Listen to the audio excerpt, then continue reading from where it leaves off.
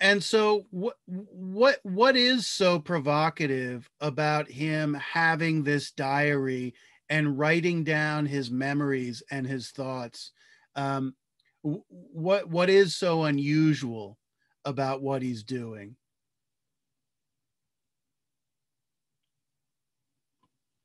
Any thoughts about that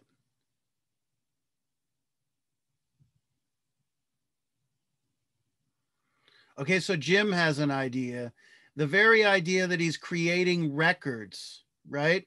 And that's a very good way of thinking about that because partly what he's doing is I mean, there's a couple different related things, but he's creating a record of his own personal existence independent of the system of record keeping of the state or or of Oceania and, and its control, right? And this is very provocative because they can i mean the one thing you notice about the media today if you follow like cable news is they constantly talk about narratives. And you know you're in for trouble when you have the media talking about narratives because a narrative is a story. And a story as we established at the beginning of the semester is not necessarily the truth. It's just what people say right and the, the media even talks about things like narrative control and the narrative cycle and the news cycle. They acknowledge that what they're doing is not simply presenting you facts so that you can reach your own conclusions about what things mean and what their significance is. They acknowledge that they're shaping the facts by putting them in a story that maybe misrepresents those facts so, one of the central dimensions of control in 1984 is you could call it narrative control. They they control the stories that people have access to, and of course, um, I mean, think about what we said. Myth is. Myth explains who we are, where we came from. Uh, it explains what this world is all about and what our relationship to it is. It answers these fundamental questions. And the big thing about myth is it's not entertainment. It's something, it, it may be entertaining, it may be enjoyable, it, it may be pleasurable, but it serves a much more fundamental function um, in uh, the formation of human society and the formation of the uh, individual's character and point of view which is to say the, the the basic myths the stories we tell about the what what we're doing in this world they they shape our outlook on the world right? And the, the basic function of uh, this regime in 1984 is by controlling the narrative they control and limit the perspective of the characters uh, or the the subjects of the regime uh, so that they can control them more easily. And to put it really simply on one hand they just keep them in a state of ignorance about what the truth is uh, and second, it may be even more complicated than that. They're they're determined to confuse the people about what what the reality that they're living in actually is. And of course, one of the funny things they do is they change stories from one to the other, and they literally like contradict themselves from one day to the next. And you're supposed to just for, and this is where the idea of double think comes in that one day they said this and it was true. And then the next day they said this, which was the opposite thing, and it was true too. And actually, if you look at our own media, that our media has done that where they've just said things and then they just change their story the next day and they expect you to act as if you uh, as if you're not aware that what they said yesterday completely contradicts what they're saying now and that you're just a kind of moron and that you're there to just have this these these narratives downloaded in your head without any critical thinking right? So and and this this record keeping and i like the, the word jim uses here of keeping a record this record keeping that um, uh, Winston is engaged in is something personal. It's about his own life because he's trying to make sense of his own existence. He knows that there's something off in this society. Um, if you're familiar with the movie The Matrix, where they're living in this dystopian virtual reality that's a false reality, um, Keanu Reeves' character, Neo, um, somehow becomes aware that the world he's living in, that he's taken for granted up to this point, he realizes there's something wrong with it. He realizes it's not the whole picture, it's not the whole truth, or it's not the truth at all. And Winston is a character who's become uh, aware of that rift between his own point of view and the point of view that the regime is trying to instill in him.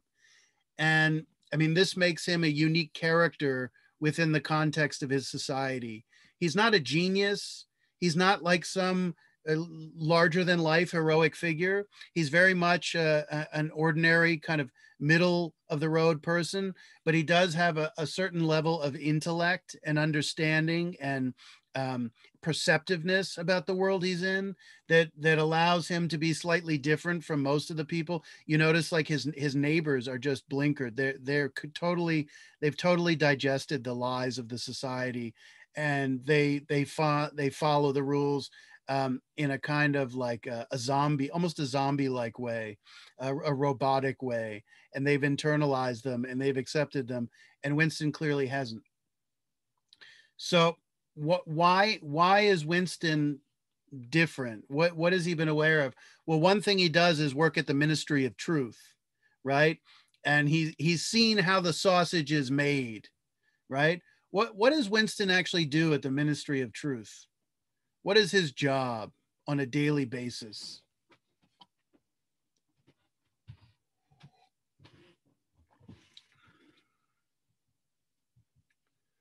So Cynthia says to write about the news. Kinda, but we have to be more specific. So, what does he do? So basically, he changed facts that happen in history and um, line it up according to what the party wants. Yeah, so there's a central truth to this world, which is that uh, reality is not what's true. Uh, the physical world is not what's true. What you see with your own lying eyes is not what's true. What's true is what the party says is true. And at any point, when they decide for convenience sake, in order to better control the society, when they change what's true, uh, uh, uh, they determine what's true at all times. So what is, what does Winston do? He takes stories that have been published in the newspapers that that start to become like the first draft of history. Like the classic line about journalism is that it's the quote unquote first draft of history. So uh, the newspapers serve a historical function in terms of being a record of what ha- what's happened. So he doesn't exactly write the news. I mean, he does, but but what he's actually doing is taking old newspapers and modifying them and changing the past right so there's this whole line that um you know uh he he, he who controls the present controls the past and he who controls the past controls the future really important line because how do we understand who we are as individuals and as society uh, through our own past and if we don't have access to the truth of our past, we can't possibly understand ourselves correctly. And it's going to literally change who we are. So he's got, you know, this teletype where he types things up and he edits things and he changes names and he changes pictures to suit the needs of the party at any given moment. They decide. And the, he, he talks about two funny instances in him changing the newspapers there, there's one instance where ostensibly the facts that he's changing were actually true. They actually happened that way.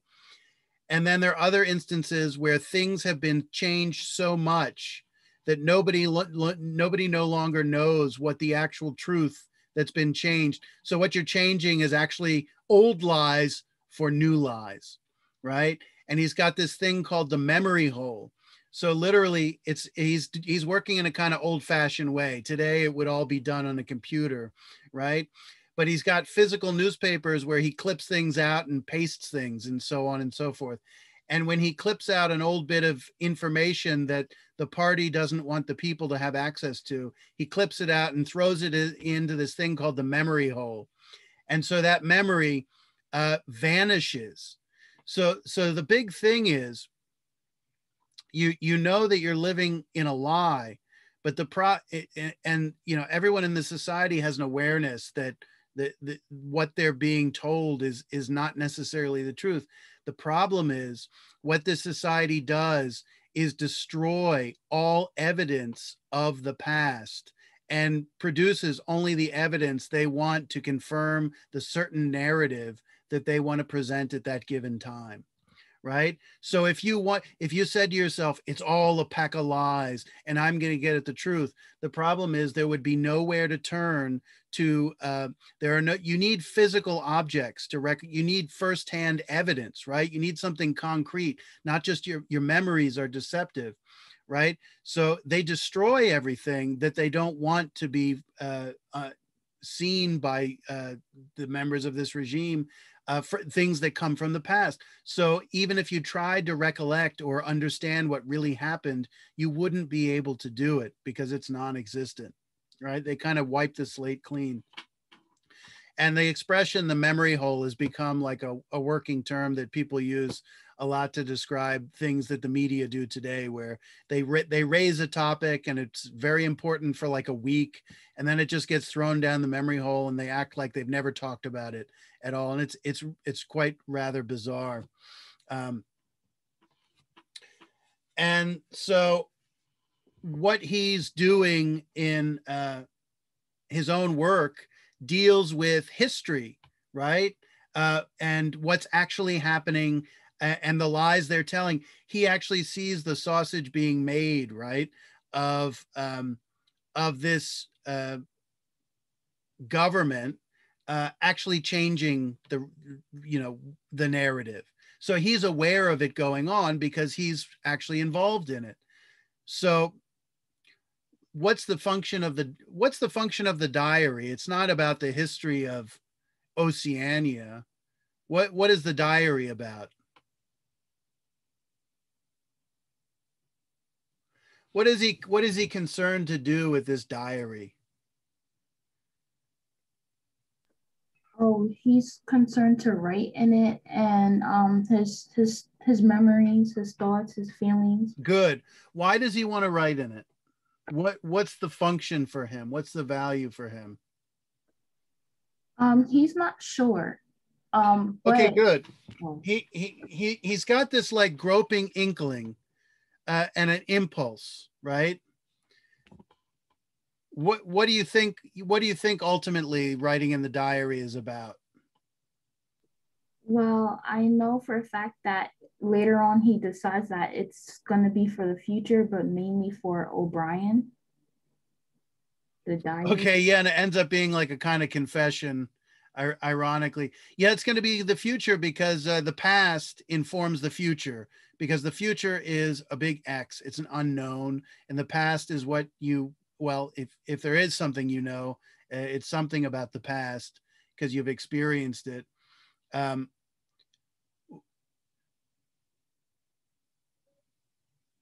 I think there's a couple different reasons, probably two main reasons why he's writing in this book. Yes, so I agree with what he does. He writes about, he tries to recollect his past.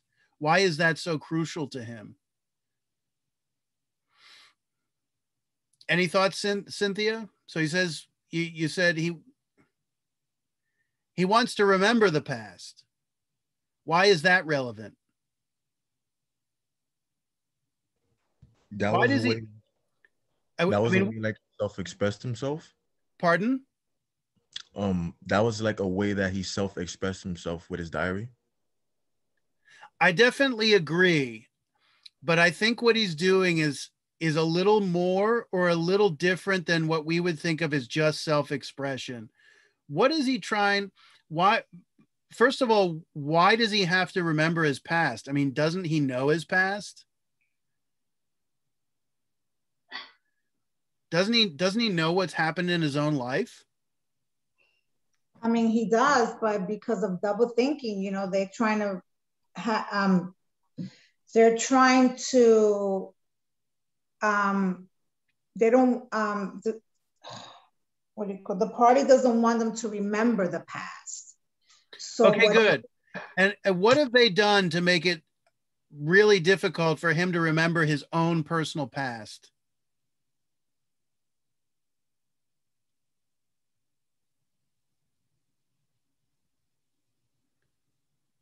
By trying to control um, what he's thinking and like from his job and what's actually going on in his surroundings. Okay, yeah. So let's start with that through the control of language and the elimination of words. I mean, even words that uh, he would have once used uh, are now no longer in fashion. And you become aware that when he was a child, that basically there really wasn't newspeak really wasn't into existence. And he he spoke you know old old speak. He spoke proper english right? Um, so there's a whole series of of cognitive techniques with the control of language that starts to cut off your access to your own past because you don't have the words at your disposal and you don't have the concepts. Because if you don't have the words you don't have the concepts. Um, also so we've just another thing someone said uh, you know if you change the events of the past well how do you understand your own history in reference to events that you no longer have access to i don't know so let's say you know, everybody says, I knew where I was and exactly what I was doing when I heard JFK died, or I knew exactly where I was and what I was doing and how I felt when 9 11 happened. Well, what if, what, what if the US government came along and said 9 11 never happened? And, and, and not only did they change a newspaper or an, an internet article, but they changed things physically so there was no physical evidence no reference to this event ever happening um, you would know something's not right but you how, how would you show to anyone else uh, what it was like for you when when all those markers all those indices of that event and the feelings connected with them the thoughts connected with them were were taken away it, it starts to illustrate the extent to which our identities Number one are the product of memory and how we understand our own past. But number two, that our past is rooted in a lot of physical things that we need to have reference points to. You think about people just putting up pictures in their household or keeping trinkets that they have from the past or even even junk stuff that goes in the attic or the basement uh, that you don't use anymore that somehow for whatever reason you don't part with all these things are little uh, mnemonic receptacles for past memories. And uh, when, when you see them physically, they help you to recall the memory with sometimes a lot of fidelity.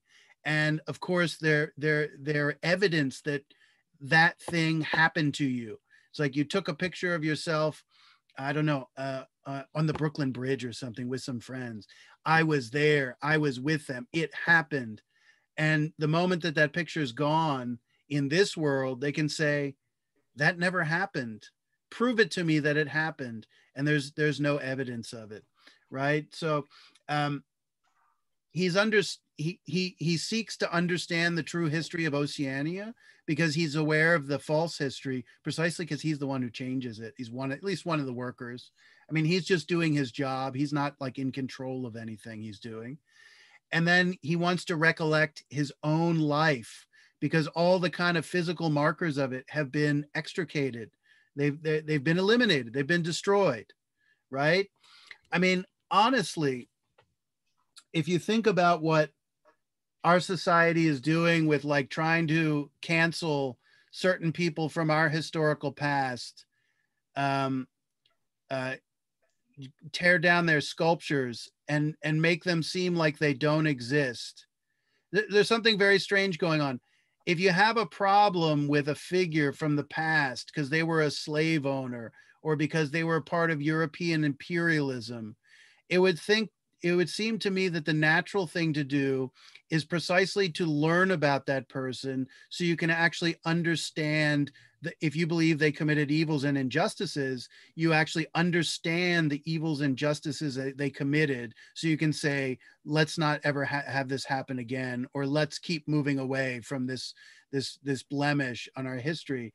But by eliminating them and making them seem like they didn't exist you're you're like eliminating um, uh, you know the, the very thing from memory. You're, you're not eliminating it in reality. It's it still happened. And uh, it, it seems totally contrary to to what you would actually want to do uh, to and because it seems like some of the real motive is to uh, eliminate our history quite quite simply. Um, i mean if you think about what the new york times did i guess it was meant now about a year and a half almost two years ago it seems with the whole 1619 project where they claim that the united states of america was founded in 1619 when the first slaves came here. Um, it's one of the most preposterous things uh, that you could ever imagine because in 1619 there was no united states there was no declaration of independence. There was no constitution. There was no american government. We were british colonies and everything that happened here was a product of british control. And there was no identity of the united states of america then. Um, and and you know the, the focus was to say that the country was founded in slavery and racism, right? Which is profoundly contrary to the actual founding of our country, which didn't happen until, you know, almost 100, basically 150 years later, uh, under very different circumstances. Um,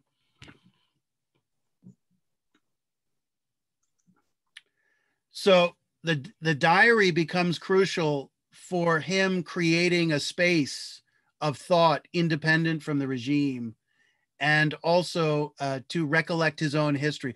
Uh, so last question here, and then we'll move on to something else here. Why, why is he so concerned to recollect his own true history? Why is that so important to him? I mean, I think we all sit there and say, obviously, that's important to us we feel something like that kind of endeavor is important to um, be in touch with um, you know our own past experiences why, why do you think that's so important to him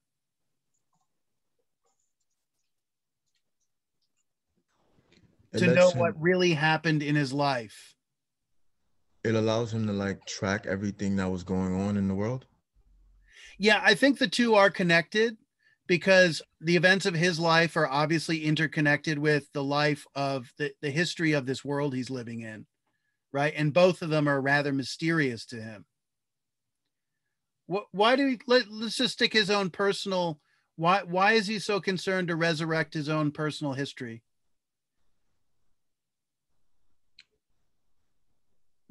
i think there's more than one answer i think there's is is an open-ended question it serves as it serves as like a symbol. Of what? Uh you mean you mean his past life serves as a symbol? Yeah. Of of what? Uh not sure. Any other thoughts? Why what why why would one of you be so concerned with your own you know personal history?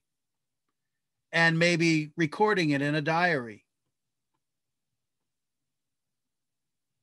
Um, maybe because you want to leave a mark, you want to leave legacy behind for the new generation.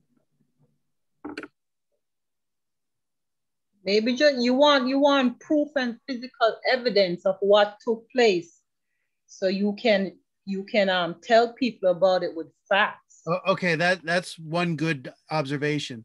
Think of how unnerving it is in this society. You know something happened. You saw it with your own eyes, but the society has removed every bit of evidence that it ever happened and your mind is like boggled because you you you were sure it happened but you can't point to anything to say definitively that's the way it was right? Because i mean part of the logic it's not just that this society lies. One one of the things that they're one of the main goals is to constantly change the truth. And it keeps these people in this kind of netherworld they they don't know what to make of the world they're in so so that's one one thing to to be able to have some concrete uh like a point of reference like the archimedean point that holds up the rest of the world he also wants to remember his family yeah, why does he care about that? I th- I think you guys know the answer to a good, to good good bit of this question. Why why does he want to write about his own life? Oh, so he, he wants to know about his family. He wants to know what happened to his family because he becomes aware that things happen to his family and he's not totally clear about what. So he can basically remember who he is. Ah, yeah. I think this is what it's really about. Um, who is Winston Smith? Right. One way to think of him, eh, just as the way we might think of ourselves, the accumulated experience of one's personal history. That's who you mm-hmm. are.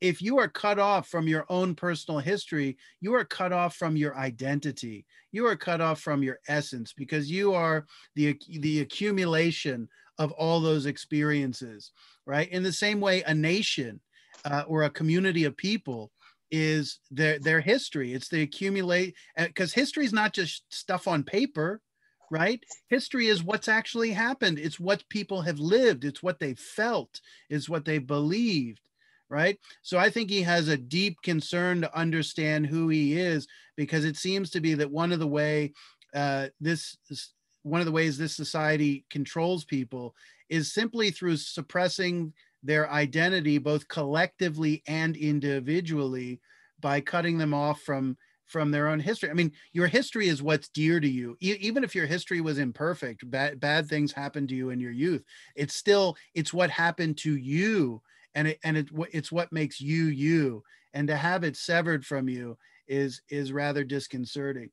A- any other thoughts uh, as as to why he's concerned? I think there is one other more general thing let's put it this way. Is he satisfied with the lies of this society?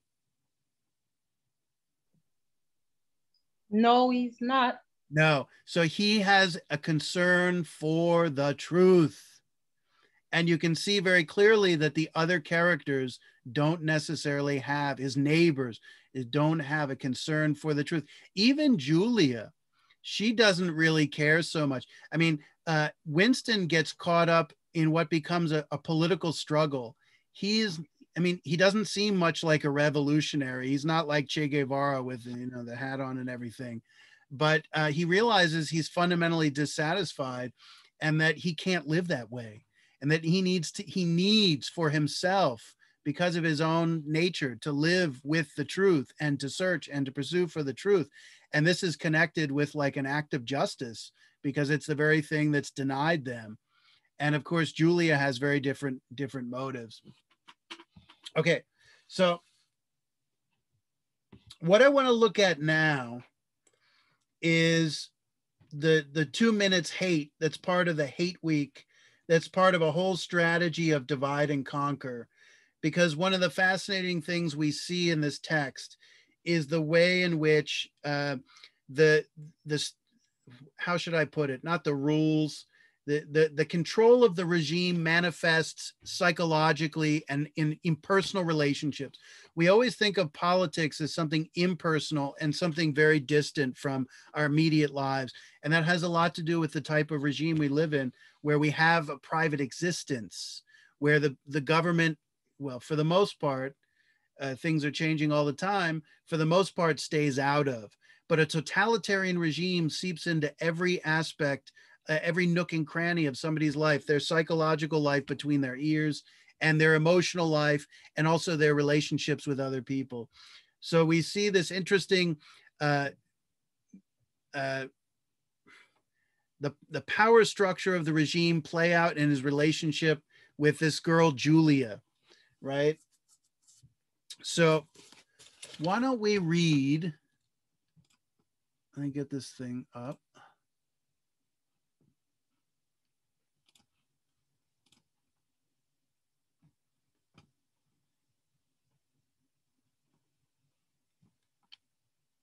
Let me just yeah. So here we're on, we're just on page nine, and you notice the first thing we get introduced to in this text after he's written these words in the um, in the diary is is a discussion of hate week, and then we get thrown into uh, you you might even call it the ritual of of hate week and what what that's all about. So could i could i have somebody read for us here starting starting right here it, it was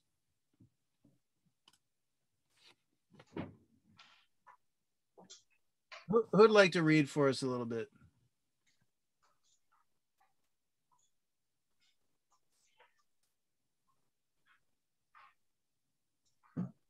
I'll read, Professor. Go for it, Eliester. It was nearly 1100 in the records department where Winston worked. They were dragging the chairs out of the cubicles and grouping them in the center of the hall, opposite the big telescreen in preparation for the two minutes hate. Winston was just taking his place in one of the middle rows when the two people he knew by sight but had never spoken to came unexpectedly into the room. One of them was a girl whom he often passed in the corridors. He did not know her name, but he knew that she worked in the fiction department. Presumably, she, since he has sometimes seen her with oily hands and carrying a spanner, she has some mechanical job, one on the novel writing writing machines. She was a bold-looking girl of, of about 27 with thick dark hair, a freckled face, swift athletic movements, a narrow scarlet sash, an emblem of the junior of the junior anti-sex league was wounded several times around the waist of her overalls, just tightly enough to bring out the shapeliness of her lip of her hips. Okay, Winston had so he sees d- during the, the period of the two minute hate, two minutes hate, Winston sees this girl with dark hair and fair skin, and she's carrying a, a, a spanner, which is like a wrench, you know, it's a British word for a wrench. So she's like a worker and it's got this kind of reference to marxist you know the workers workers of the world unite and they all wear like these plain overalls so they're not distinguished from one another they're all the same uh and uh they're they're Come here. and um and you, you notice, for example, she's part of the junior anti-sex league. We'll have to come back to that a second because actually sex and sexual relations becomes a really instrumental part of the, the story being told here. The way in which this regime shapes people's sexual life.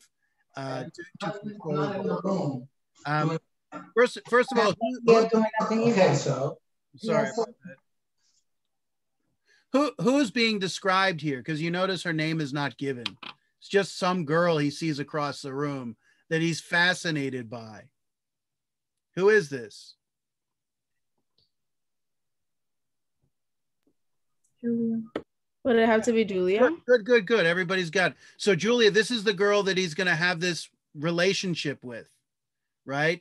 And he's going to go. They're going to set up these clandestine meetings at, above Mr. Sherrington's bookstore, uh, which is the place where he bought the diary. And the interesting thing about the book, so we see that you know Winston likes the written, he likes language, he likes words. Um, he's he's a he's involved in the liberal arts and the the, the arts of the mind. Um, he he likes language. Uh, he likes books and he likes the physicality of the books and he's kind of old fashioned in this way um, and there's a certain uh, even a kind of romanticism to language and books for him so they they take a room above mr sherrington's um, bookstore where they carry out their liaison uh, kind of under the premise like they're escaping from the system and they're not going to be seen but of course there is you know there's typically you know surveillance everywhere and of course uh well does anyone did anyone what what happens at the end of book two?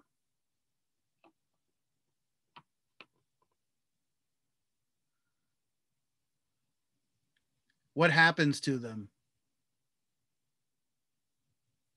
They get caught in the room. Yeah, they get caught, and and who is the person who who who basically informed on them, right? If you know anything about the Soviet Union, you know that one of its great strength, and this is really interesting. I read a great article on this academic article. Uh, they said, you know, you'd think that in the Soviet Union there was all this tremendous centralized government control. We talked about the centralization, the concentration of power last class, no checks and balances, and no federalism, and all this stuff like in our constitution. is that you think that centralized power and this like massive state apparatus was the primary vehicle to control people in the Soviet Union. And he says, actually, well, there's some truth to that. But one thing they did was to empower ordinary citizens with the power of law so that they could inform on their fellow citizens and give them a sense of power over their over their fellow citizens. So people would be put in charge of like surveilling their friends their family uh, and people were played off against one another. So it serves a, a, a double purpose of surveillance but then also of setting society against itself by certain people being able to inform and and getting kind of status for having done it so sherrington who is supposed to be this innocent, you know, like older guy who runs a used bookstore. You think just kind of the uh, a nice guy who likes books turns out to be the guy who informed on them, and and it even describes that you know basically he's been in a disguise the whole time, and it, and it's almost like this room that they've taken was. Um, uh, it was a kind of like a trap from the very beginning, and that they've probably been surveilled from the, from the very beginning. Okay. Got it, Ellie Esther. So so they have so they have uh uh you know uh that that's the ending of uh their relationship. Um what's this whole stuff about Julia being part of the junior anti-sex league and what is the whole mentality about sex as the regime promotes like their understanding of sex or their attitude towards sex. What what is what is the anti-sex league about and what what is what does the regime promote in terms of sexual relations?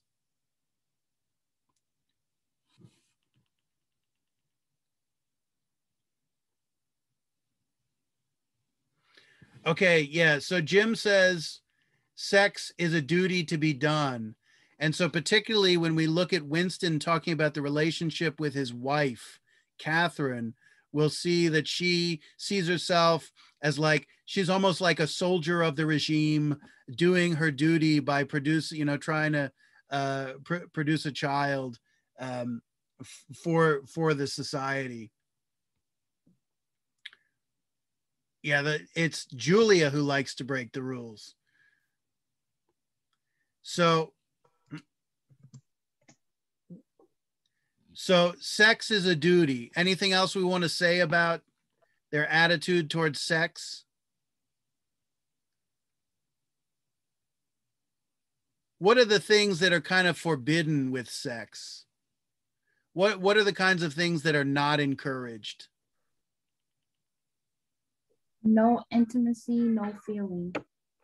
Yeah, so i mean it's julie is a very strange figure because she's part of this anti-sex league that's like against sex.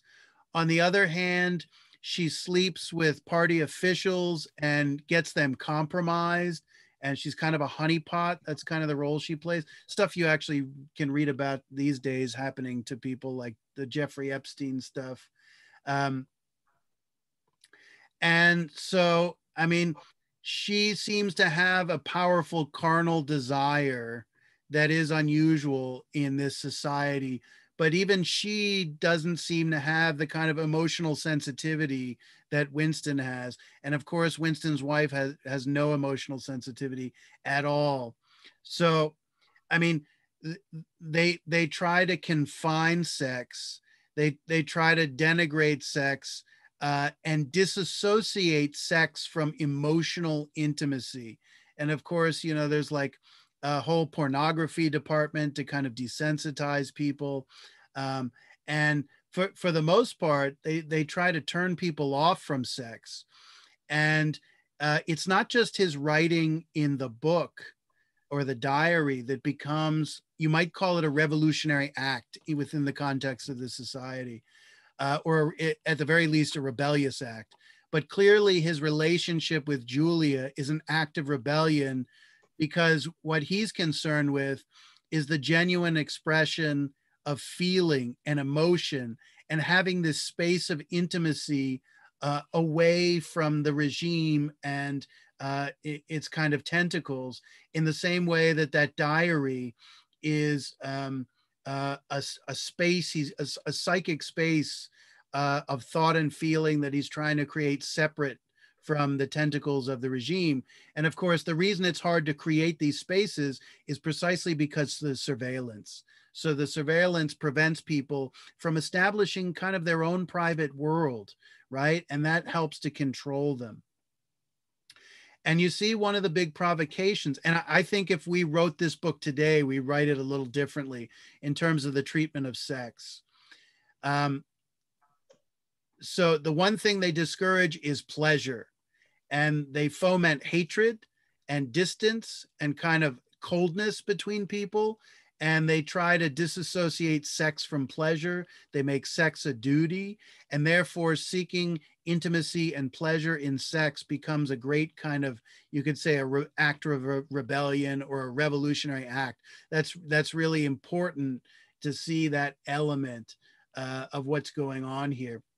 Um, but I have a question: If you're writing this book today, and you wanted to control people through manipulating uh, our, our, uh, our, our, our psychology connected with sex or um, the sexual dynamics of relationships. What, what would you do today if you wanted to control society?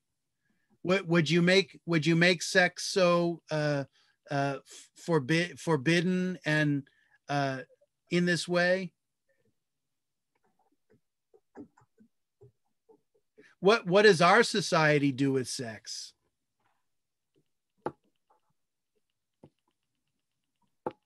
What does Cardi B do with sex?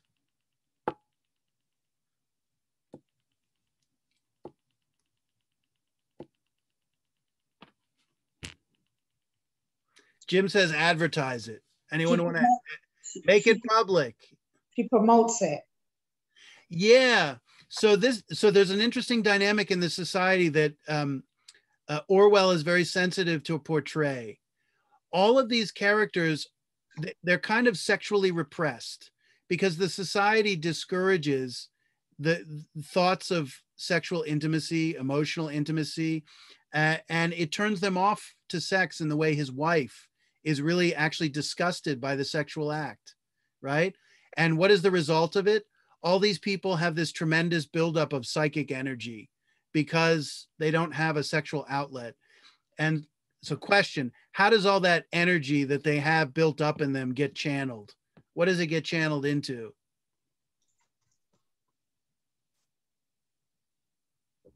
Hate week? Yes. And let's just say hate. So, feelings that might otherwise manifest as love and intimacy, they try to redirect them uh, through their codes and boundaries about sex and channel them into hate. And they have to have hate. Hate becomes really important because they have all this kind of psychic energy that needs an outlet, right? And so the outlet goes against the enemies of the regime uh, that they're fighting in the war, and also Emmanuel Goldstein, the great Jewish traitor. There's this kind of anti Semitic motif at work here. Um, as the guy who tried to like rebel against the system and failed and he's he's the kind of just as big brother is the face of the regime emmanuel goldstein is like the face of you know the ultimate enemy of the regime. So he, here's one problem with with newspeak and the rules they've created around sex is that the, uh, you know winston doesn't understand the feelings he's having for Julia because he doesn't have the language of intimacy.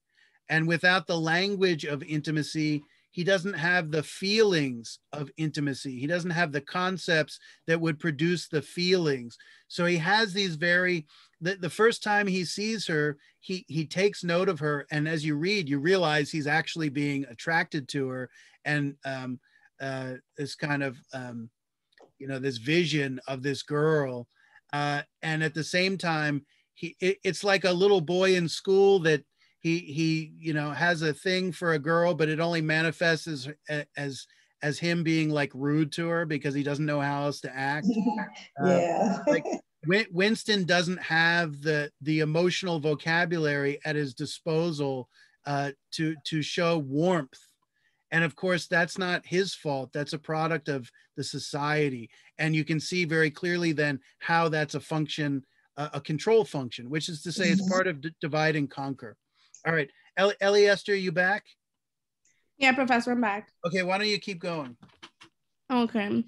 Winston had disliked her from the very moment of seeing her. He knew the reason. It was because of the atmosphere of hockey fields and cold baths and community hikes in the general. Um, general clean mindedness. And the general clean mindedness which he had managed to carry about with her. He disliked nearly all of the women and especially the young and pretty ones. He okay, had always pause right there. Does he really dislike them? No. No, I think actually he's attracted to them and he he you know he, he finds appealing, but the only language he has at his disposal disposal is dislike and hate. Mm-hmm. Right? And therefore it manifests also that way in his feelings, right? And oh, what, what would we do in our society if we wanted to control everybody? We would liberate the sexual impulse. We would like take sex out of the bedroom and make it as public as possible. We'd put as much pornography out there as possible. We'd uh, say, you know, to hell with monogamy, to hell with the family. If you have an impulse to have sex, go and do it, right? I mean, you would do the opposite, right? And you you would take all all the uh, power out of it by doing that. And so, ironically, by restricting sex here, um, at least for Winston, who's this perceptive character, um, it's actually made sex and intimacy very provocative for him because it's that classic thing that the thing that you can't have is the thing that uh, cre- create uh, grabs your attention, right? All right, you want to keep going, Eliester? Yeah, it was always the women, and above above all, the young ones, who were the most bigoted adherents of the party, the swallowers of slogans, the amateur spies and nosers out of orthodoxy. But this particular g- girl gave him the impression of him being more dangerous than most. Once, when they passed into the corridor, she had given him a quick sidelong glance, which seemed to pierce right into him, and for a moment had filled him with black terror. The idea had the idea had even crossed his mind that she might be an agent of the thought police. That, it was true, was very unlikely. Still, he continued to feel a particular uneasiness which had fear mixed up in it as well as hostility, as hostility whenever she was anywhere near him. Okay, so uh, dislike, fear, and hostility. That that's his only emotional kind of vocabulary for reacting to the provocation of her presence, her appearance, the way she carries herself. Uh, he fears that she is an agent of the thought police. Mm-hmm. What's the mm-hmm. answer to that question? Why does she end up engaging in this relationship?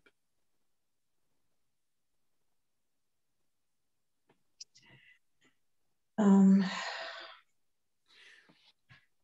Remember what she explicitly says later on. She explicitly says that um, you know she she went with party members and then they got in trouble precisely for you know being seduced by her. What what happens when they both get sent to the ministry of love?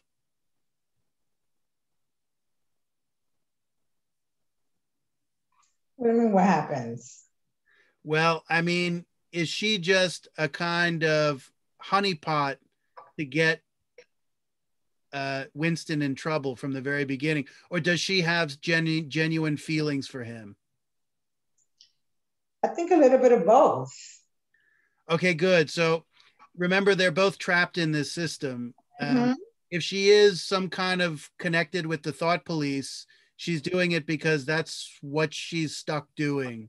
Mm-hmm. And um, yeah, so th- this is a real bittersweet uh, dynamic where it seems likely that she actually was there to set him up. Uh, and at the same time, she obviously has uh, feelings uh, for him because she uh, it, you know, she turns out to be one of the women who's in touch with her own kind of sexual, uh, I don't know, identity or impulse, right? And um, it, it's it's something that actually liberates her from, you know, the the confines of the regime because it allows her to connect with other people and maybe also her, herself, right? Okay, why don't we keep going here? Yeah. The other person was a name was a man named O'Brien, a member of the inner party and a holder of some post so important and remote that Winston had only a dim idea idea of its nature. A monetary hush passed over the group around the chairs as they saw the black overalls of an inner party member approaching. O'Brien was a large, burly man with a thick neck and coarse, humorous, brutal face. In spite of his formid formidable appearance, he had a certain amount of charm and of manner. He had a trick of resettle, resettling his spectacles on his nose, on his nose, which was curiously dis, disarming.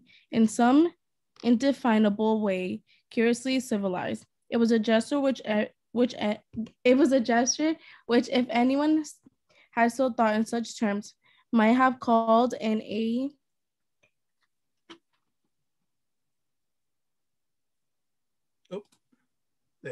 an 18th an 18th century noble nobleman offering his snuff buff. Winston had seen O'Brien perhaps a dozen, a dozen times in almost as many years. He felt deeply drawn to him, and not solely because he was intrigued by the contrast of between O'Brien's urban manner and his prize fighter's physique.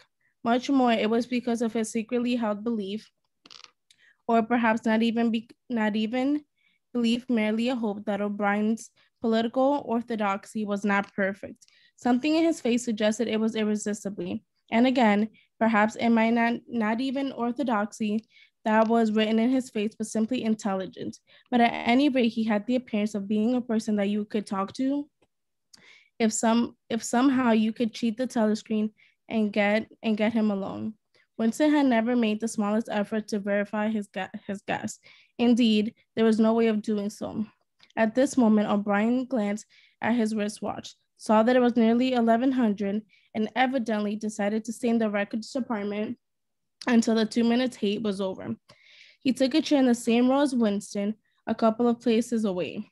A small, sandy haired woman who worked in the next cuticle, next cuticle to Winston was between them. The girl with dark hair was sitting immediately behind.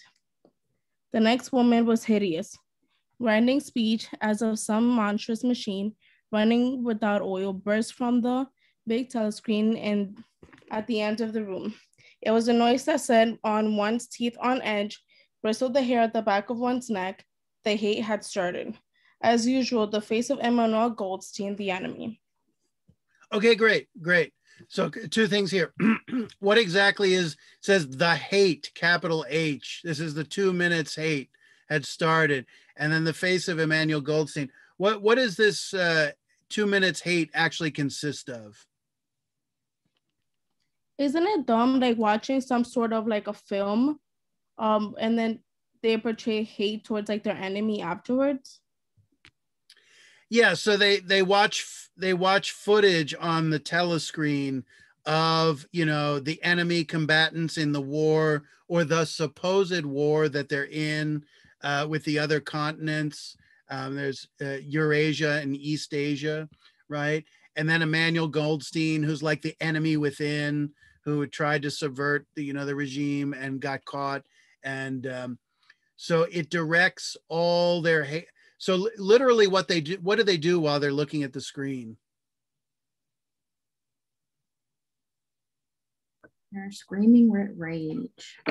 Yeah, and it and it's got this kind of Pavlovian thing where you know the whole story with uh, Pavlov, the scientist with the dog, is that um, he would ring a bell and then he would feed the dog and the food would appear. He'd ring the bell and the food would show up. So then when he would ring the bell, the dog would start to salivate before the food even got there because he got trained with the association between the bell and the food coming.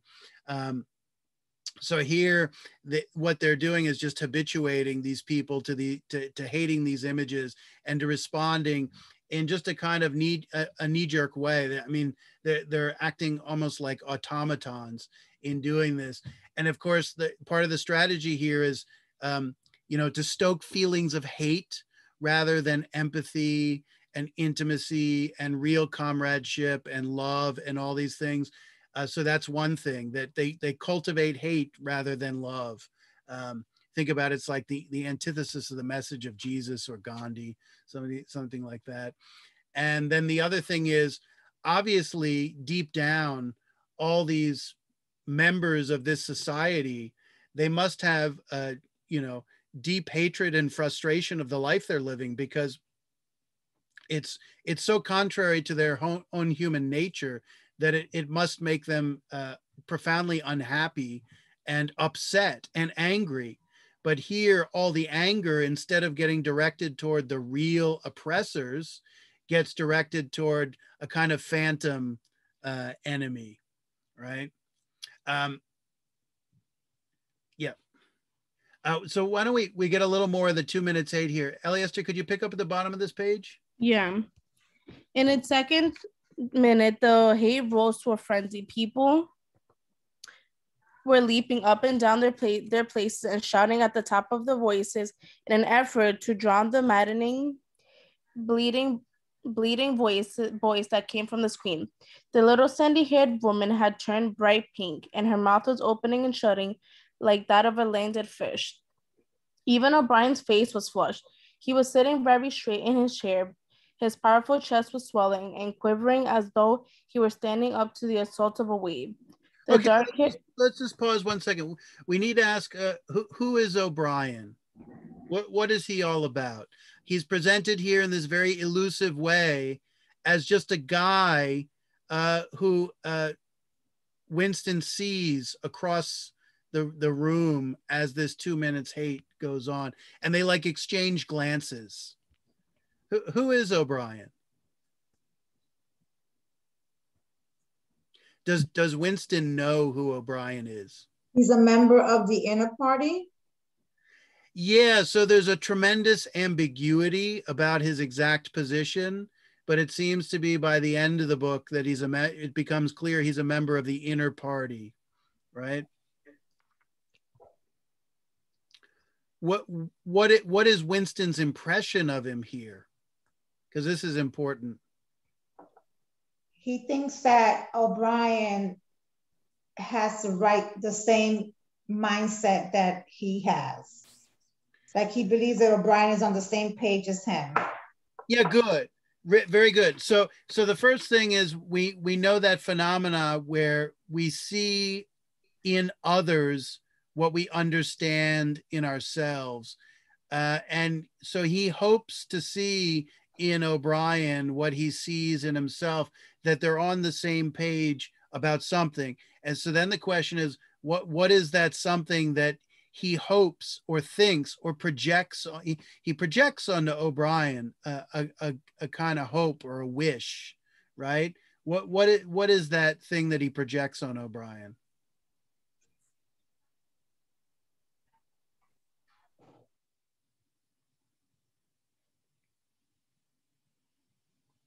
What does he feel he has in common with him?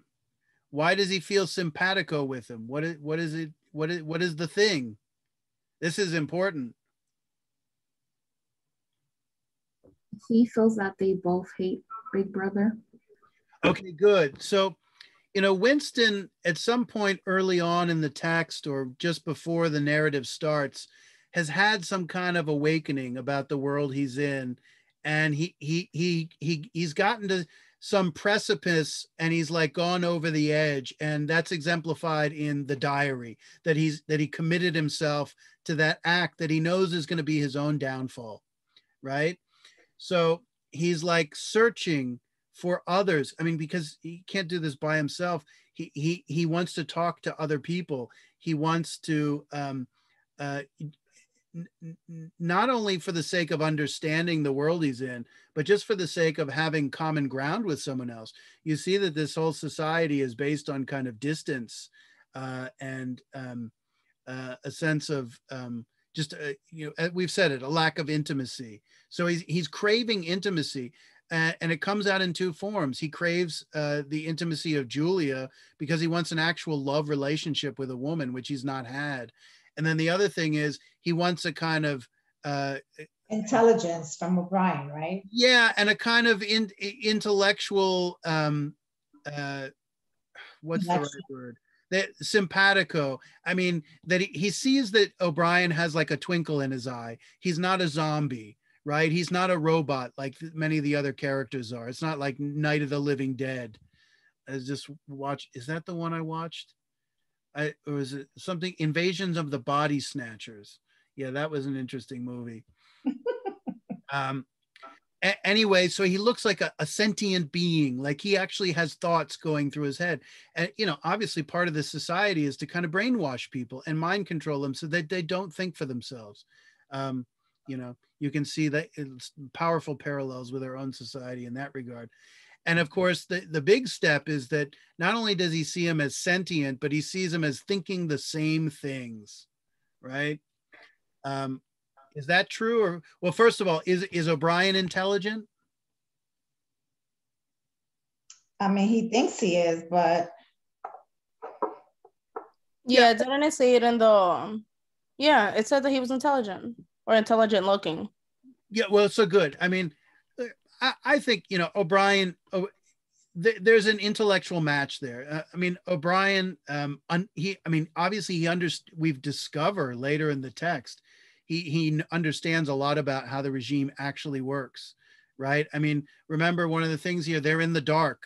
Um, what's that great word? Occult. Like occult just means like things are concealed um, in mystery um, and he's yearning to understand w- what the mechanism actually is of control, who's really in in charge, what are their real goals.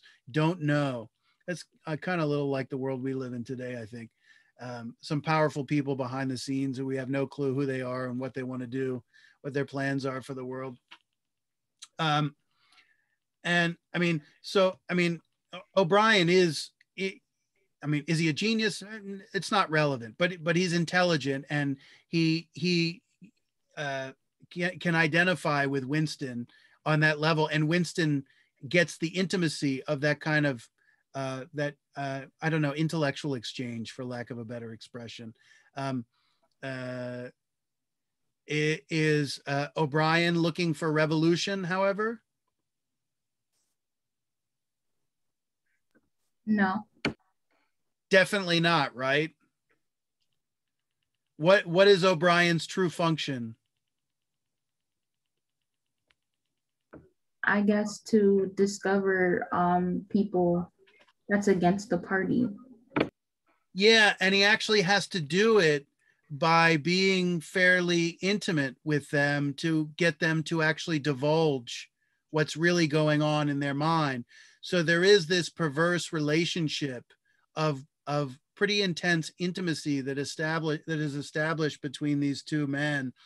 And i guess it's on page 24 it says winston had never been able to feel sure even after this morning's flash of the eyes. It was still impossible to be sure whether o'brien was a friend or an enemy. So what a friend or an enemy but he still liked him, regardless whether he wasn't too sure. Oh yeah, so uh, I mean, uh, emotionally and intellectually, he's he's attached and he's curious, but that mm-hmm. still doesn't change the fact that you know O'Brien might represent a threat to him.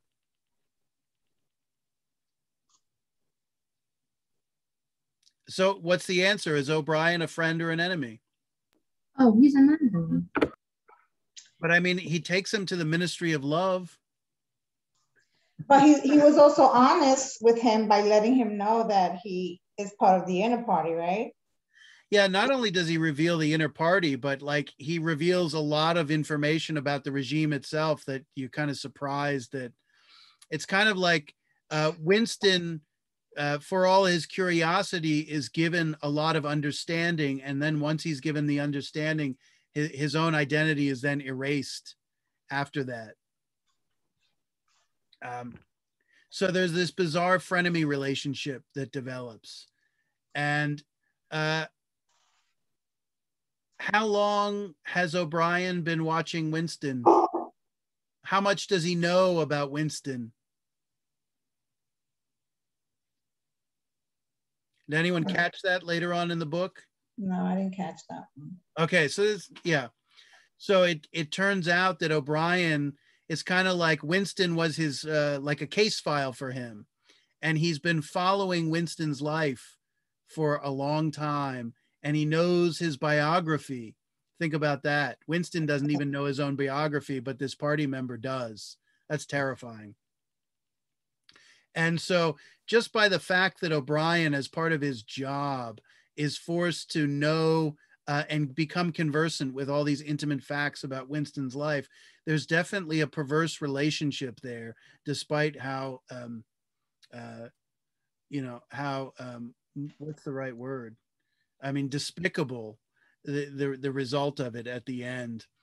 Um, okay. And so the important thing here is that Winston holds out this hope that O'Brien is simpatico that you know he's looking for you you might say a fellow revolutionary something like that. Elias, do you want to keep going? Yeah. What guys on? Professor what's the page? Because i'm reading it from my book. Oh so we're sometime somewhere around 14 or 15 i found it i found it. Professor, I have a really quick question. So, how do you think O'Brien weeded um, Winston out? Is it because because as we're reading, he's describing how everybody else looks but every and everybody else is probably like like in enraged looking at the screen. But if he's looking at all of these people what are what is he doing? Is that how like o'brien kind of like weeded him out from the beginning? Wait so when you say what is he doing who's which he are you referring to? As in like winston because like he's pointing out every what everybody else is doing, but what is he doing? And but oh, oh, oh, great, I mean, great point. I mean, you realize that Winston is not emotionally committed to the hate the way the other people are. The other people are just robotically, uh, like Pavlov's dog, responding to the images, right? And he he has some uh, distance from from this ritual. He has a bit of his own will, right? and of course that's probably what he senses in o'brien that uh, o'brien's not like robotically responding to the two minutes hate but of course he's an inner party member. And this ritual of the two minutes hate is really for people lower on the totem pole in this society. Like for example um, o'brien you discover he gets a nicer office. He gets uh, access to like nice wine that he gives winston and so this is a very hierarchical society and each class they're really classes of people who are treated differently depending on the type of person they are and how how the whole mechanics of the machine the, the machine of the regime works as a whole. I mean so he's looking around because he's not fully invested in the two minutes hate because he senses you know there's something off about it so that's how o'brien probably weeded him out well, in this instant, that's true, or that's what it appears to be. But once you get later into the book, you realize that O'Brien has been like his minder for a good bit of his adult life. And that this this whole process that seems here spontaneous, in fact, is not spontaneous. Does that make sense? Yes, very interesting Yeah. which makes it only more darker. Be- and it make it makes it only darker because Winston thinks he's in the process of liberating himself and gaining some not just perspective but like a power base with this other person to you know separate themselves from this regime and in fact what he's doing is playing into the system of control if you've seen what is it the third matrix movie? Like you know the the you know the Neo character who liberates himself from the Matrix. They just say, yeah, the, the one person who liberates themselves from the Matrix, this is actually part of our system of control to give you a sense of hope. And then now we're going to put you back in place. So it's all kind of an illusion right? It's it's really disturbing and if you don't understand what i'm talking about with neo uh, being like this character of liberation who turns out to be part of the system of control you you've got to just watch the movie you you want to keep going Eliester? yeah the dark-haired girl behind Winston had begun crying out, "Swine, swine, swine!" And suddenly she picked up a heavy news newspaper dictionary and flung it at the screen. It struck Goldstein's nose and bounced off. The voice continued inexorably. In a lucid moment, Woodson found found that he was shouting with the others and kicking his heels violently against the rug of his own chair. The horrible thing about the two minutes of hate was not was that one was obligated to act a part, but that it was impossible to avoid joining in. Within 30 seconds, any pretense was always uh, was always unnecessary. A hideous ecstasy of fear and vin vindictive. I don't know how to say it. What was that? Vindictiveness. Vindictiveness. A desire to kill, to torture, to smash faces with the sledgehammer seemed to throw seemed to flow through the whole group of people like an electric current, turning one even against one's will into a grammatic screaming lunatic. And yet the rage that one felt was an abstract, undirected emotion, which could be switched from one object to another like the flame of a blow lamp. Thus, at one moment, Winston's hatred was not turned against Goldstein at all, on the contrary, against Big Brother the party, and the thought police. At such moments like this, my heart went out to the lonely, derided, heretic on the screen, sole guardian of truth and sanity in a world of lies. And yet the next time instant he was with one, he was at one with the people about him, and all of that said of Goldstein seemed to him seemed to be true.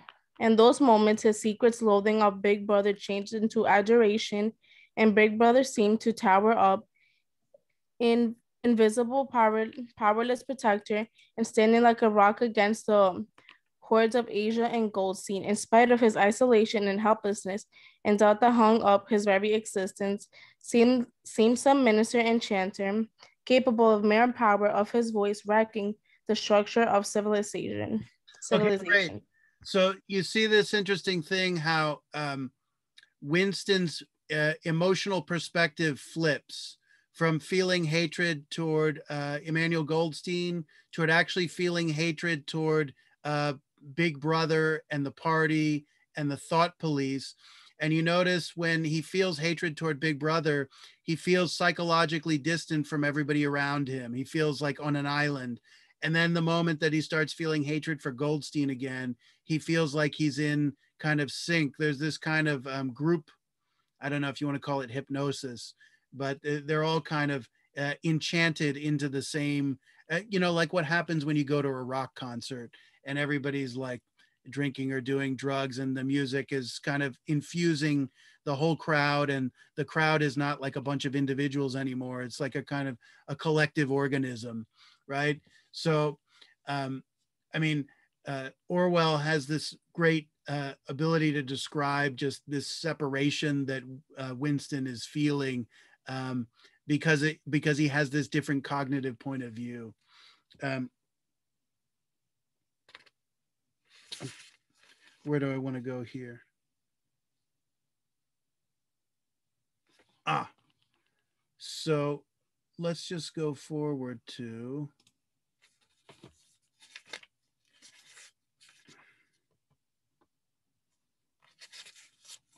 Oh, this is this is annoying because the page numbers don't line up here with this silly Kindle version.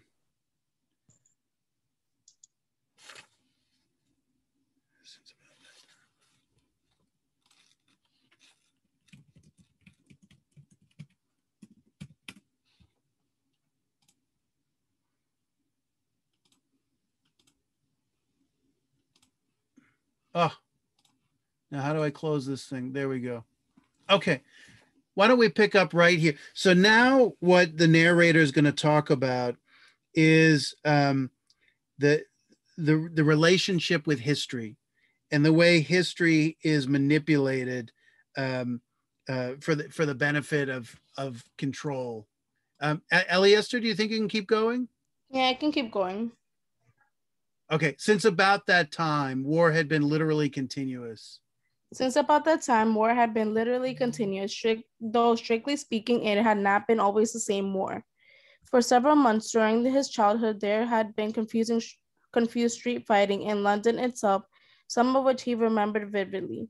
But to trace out of the history of the whole period, to say who was fighting whom at any given moment would have been utterly impossible since no written record and no spoken word ever made ever made mention of any other alignment than the existing one.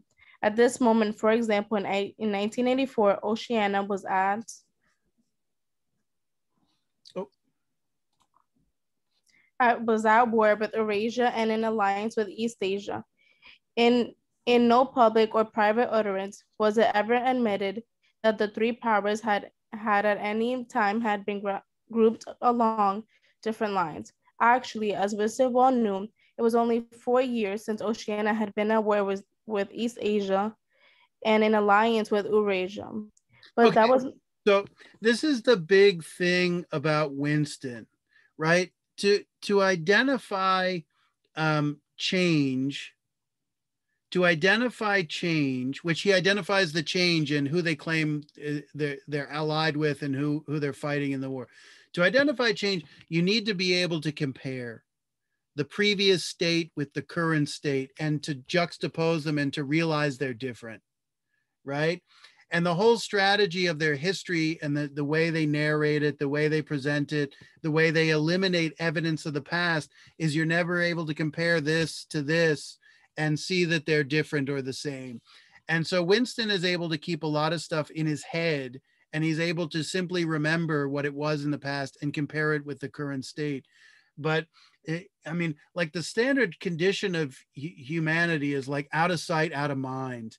And I mean, I I see the media today, like they say something yesterday and then they come on today and say something that contradicts it and they act like they're not contradicting themselves and they expect that we just uh, we just accept like what what they're saying despite the fact that they're contradicting themselves which is a serious problem um, you know i mean just one many, of many examples they said for about not quite four years it was more like three years that that donald trump was a traitor with the Russians and he had colluded with the Russians and basically committed something like treason. He had stolen the 2016 election and all this stuff. And for like three years, they just hammered it every day, every day, every day, every day. And then the narrative just stopped. And then when Trump was finally impeached twice, I mean, you'd think at least one of the impeachments could be about Russia because, of course, he was a Russian traitor and he's like he's like Vladimir Putin's puppet and all this stuff. And neither of the impeachments had anything to do with Russia whatsoever. So, you know, what was the evidence that they were ever talking about? And the, the I mean, the funny thing was they talked about it for so long, and then they just dropped it, like it didn't, like they had never said it and if they're if they really believed what they said, why would you ever drop something like that? I mean, if you accuse someone of being a traitor and they're like the president of the United States and they've committed treason, they're like Benedict Arnold. Like that's not something you just stop talking about. Like that's something you keep talking about until it gets resolved. And I mean, they when they stop talking about it, like they just accept they just expected people to like move on to the next thing and and they certainly moved on to the next thing but um, the ability of us to have very short memories right is a serious problem when it comes to propaganda because they ex- they just expect that you're going to forget what they said yesterday and it's actually really important that you remember and winston's this unusual character who makes the mental note in his mind and realizes there's a difference here i mean my goodness they're in a war right? Are they really in a war? Are they actually at war with East Asia or Eurasia? No. how do you know that they're not at a war? Not at war, I should say. I'm just guessing because um it's they talk about it very like often. It's like they're always winning something or like another time they'll say like another fact about the war and it's just like pick one did you win or not? So i'm like something's going on here that's a little fishy. Well clearly they're not getting the whole truth about it. There's no doubt about that. Let's put it this way. Do we have any conclusive evidence that there is not a war?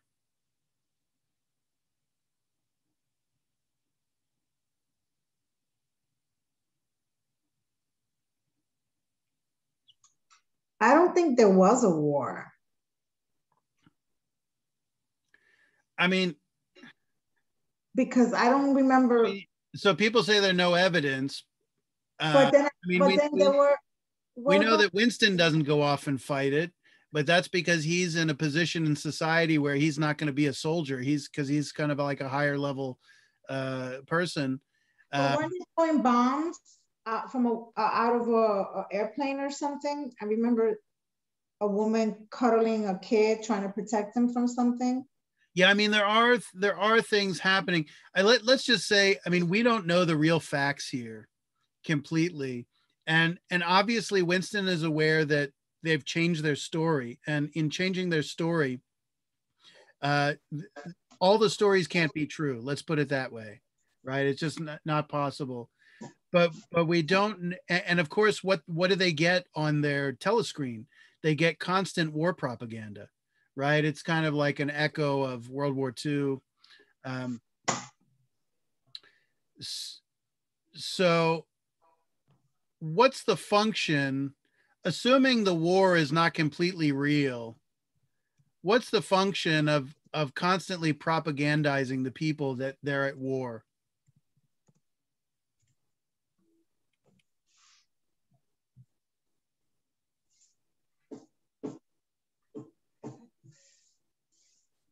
Okay, good. So Jonathan says it gives them something to direct their hate.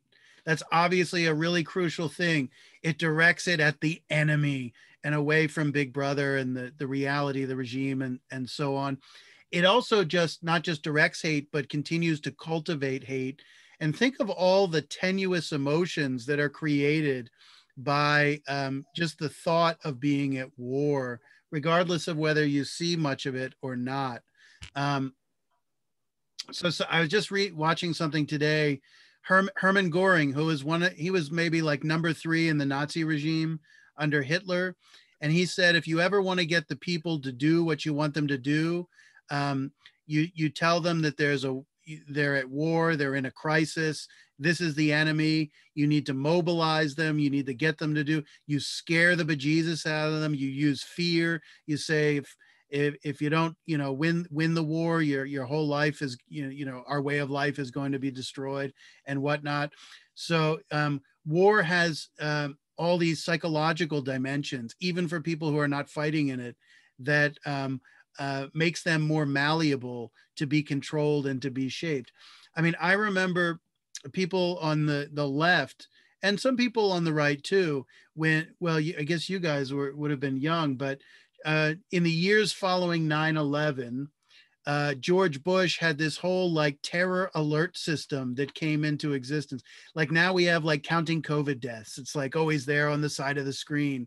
And so then they had the terror alert system and it went from like, you know, yellow to orange to green to red or whatever, you know, like a stoplight. And red was the worst one and orange was second bad.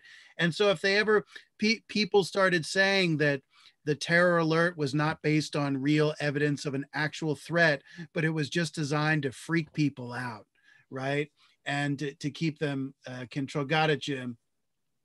And so um, societies have long understood how you can use war to actually shape domestic, right? We think of war as like a form of foreign policy. You're dealing with other nations, but it also allows you to control your own nation uh, actually, there was a lot of discussion around that during World War II because our whole society was mobilized for war, and uh, the kind of structure of our government um, was altered.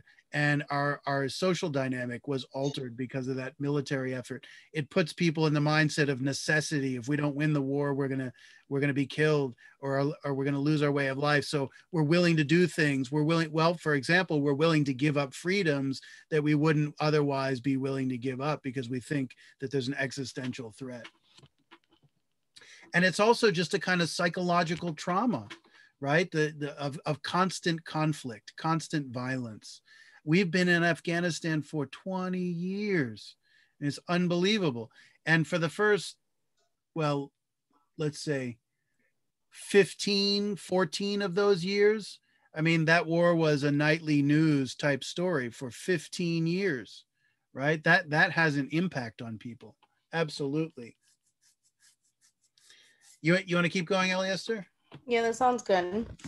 The frightening thing he reflected for 10,000 for the 10,000th time as he forced his shoulder painfully backward with hands on, on hips. They were raising their bodies from the waist and exercise that was supposed to be good for the back muscles. The frightening thing was that it might all be true. If the party could if the party could thrust its hand into the past and say uh, and say of this or that event it never happened, that surely it was more terrifying than the mere torture torture, and death. Okay. If the party could thrust its hand into the past and say of this or that event, it never happened, that surely was more terrifying than mere torture and death. Why? I'm not sure everybody believes that in this Zoom meeting right now. Why does Winston think that? Maybe why should we think that too? That if the party can change past events and say they never happened, that that's even more terrifying than torture and death.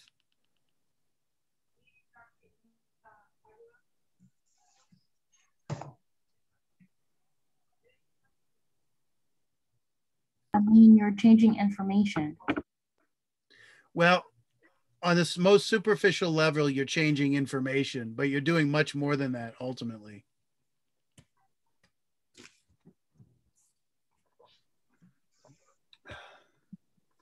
You're deceiving the people? You're absolutely doing that. Why why is that worse than why is that more terrifying than death? What do they really control? I mean, when you torture and kill someone, you're controlling someone's body in a certain way, right? When you're changing the past, what are you in control of? Their mind and their thoughts. Yeah, and you might even he says it on the next, you know, a little later on. They're in control of reality. Uh, reality in this world is not simply what is given by nature, right? Reality is what the party makes it truth is what the party makes it. And I think you start to realize here the extent to which, for the most part, although there's some important exceptions, human nature is really tethered to living in light of the truth and what actually happens, right? I mean, we have a certain need for the truth, and it's not simply some kind of intellectual exercise. Um, we feel content to live in accord with what actually is rather than an illusion, right? Because it's what we've experienced. And it ultimately, I think it ties in with our own personal identity. To have uh, reality controlled starts to undermine the integrity of who we think we actually are in a way where we can't clarify who we are. And that seems to be tremendously unsettling. And that that's part of winston's quest. Part of his quest is to understand the regime but part of his and get the truth about it and part of his quest is to understand himself because he's aware of having kind of blank spots in his um, uh, kind of in his memory banks. Because um, if i mean uh, he's enough aware to know that he doesn't know fully who he is without having specific knowledge of all the things that have been withheld from him. It's a rather unnerving position to, to be in. You want to keep going, Eliester? Yeah. The party said that Oceania had never been in alliance with Eurasia. He, Winston Smith, knew that Oceania had been in alliance with Eurasia as short as as short a time as four years ago. But, but where did that knowledge exist? Only in his own consciousness, which in any case, as soon as as soon be annihilated. And if all others accepted the lie in which the party imposed, if all records told the same tale, then the lie passed into the history and became truth. Who controls the past? Ran the party slogan. Controls the future. Who controls the present controls the past. And yet the past, though of his nature alterable, never had been altered. Whatever was truth now was true from the everlasting to everlasting. It was quite simple. All of that was needed was an unsending series of victories over your own memory. Reality control, they called it. In Newspeak, doublethink. Stand easy, barked the instructors.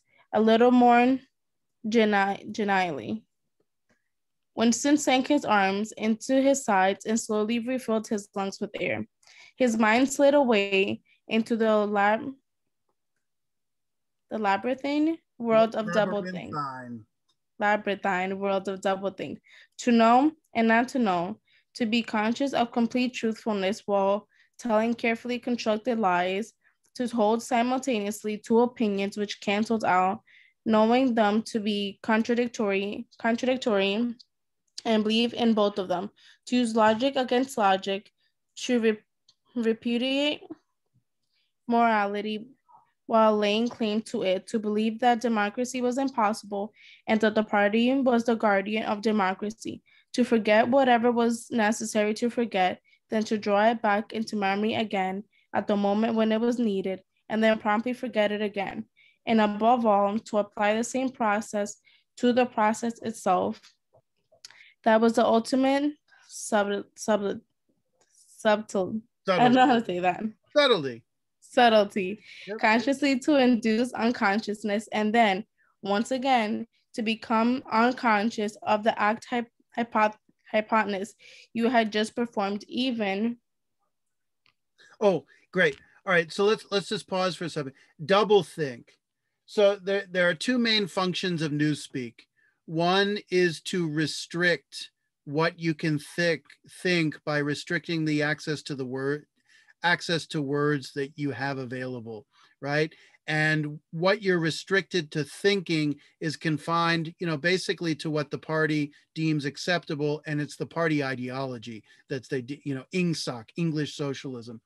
And then the other aspect of Newspeak is that it's involved in doublethink, where um, you you can hold two contradictory thoughts at the same time, and they're both true that's doublethink. And of course, that defies our basic notions of logic and the principle of non-contradiction. You know, Aristotle says that logic is based on the law, what he calls the law of the excluded middle. Uh, a light switch can't be both on and off simultaneously. It can be on at time A and off at time B, but it can't be on and off at time A, obviously. So it's the it's the law of excluded middle is just the law of non-contradiction. And so why is doublethink so important? Um, I think one reason it just allows them to change the meaning of things and words and realities whenever they need to. Um, and so, I mean, what's an example of dub of doublethink here? He says, and yet the past, though its nature is uh, alterable, never had been altered, right? So he says, on one hand, the past is alterable, but it never had been altered. Uh, and whatever was true now was true from everlast, everlasting to everlasting, right? So the past is either uh, alterable and it's been changed, or it's unalterable and has always been the same. But of course, what what is what is um, the narrator say here? Uh, he says it's both unalterable and alterable. It's both unchangeable, but it also has been changed. And so they to- on on the surface they totally contradict one another. But if you think about it, it actually makes sense because within the realm of this regime, the past is treated as alterable. And the past here refers simply to what we tell you about the past, right? It's like, what is history? Do you understand history as the actual series of events that happened? Or do you understand history as the stories we tell about what happened? Because once we're in the present, which we're always in the present, uh, the past is always a story we tell about the past. And this raises questions about its relationship to what actually happened. So, on one hand, the, the past is alterable because it's based on um, artifacts and it's based on stories that are changeable and they change them to suit their needs. On the other hand, there is something that really happened that we call the past that no matter how much you rewrite the history books, you can't change. So this doublethink principle seems to be uh, it creates this kind of cognitive dissonance, right? And the, the famous lines are war is peace, freedom is slavery, ignorance is strength.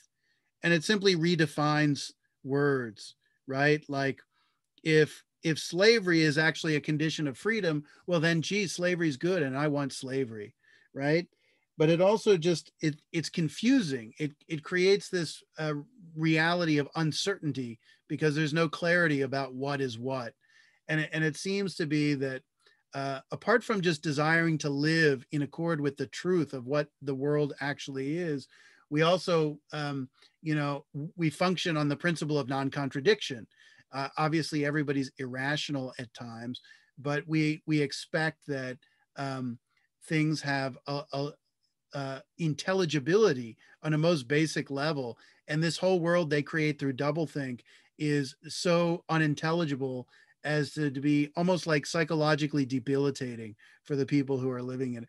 Kind of just compels you to capitulate, right? So later on, O'Brien, when he's re-educating um, Winston, you know, he he holds up four fingers and he says, "How many fingers is I, am I holding up?" And uh, Winston says, "Well, it's obviously four. And he tells Winston, "Sorry, you're wrong. I'm holding up five fingers." And then to make even more perverse, he says, How many fingers am I holding up now? And Winston goes, Five. And he goes, No, I don't believe you. You're lying. So he shocks him again, right? E- even though he's given him the right answer, the, the quote unquote right answer, right? So it's it's very perverse. Um, you know what we should do is go forward. Oh, so we should talk a little bit more about Newspeak here. Um, yeah.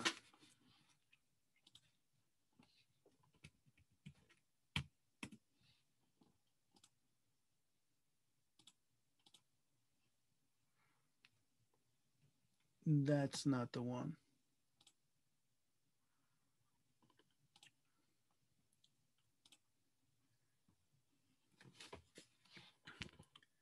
Ellie Esther, how are you doing?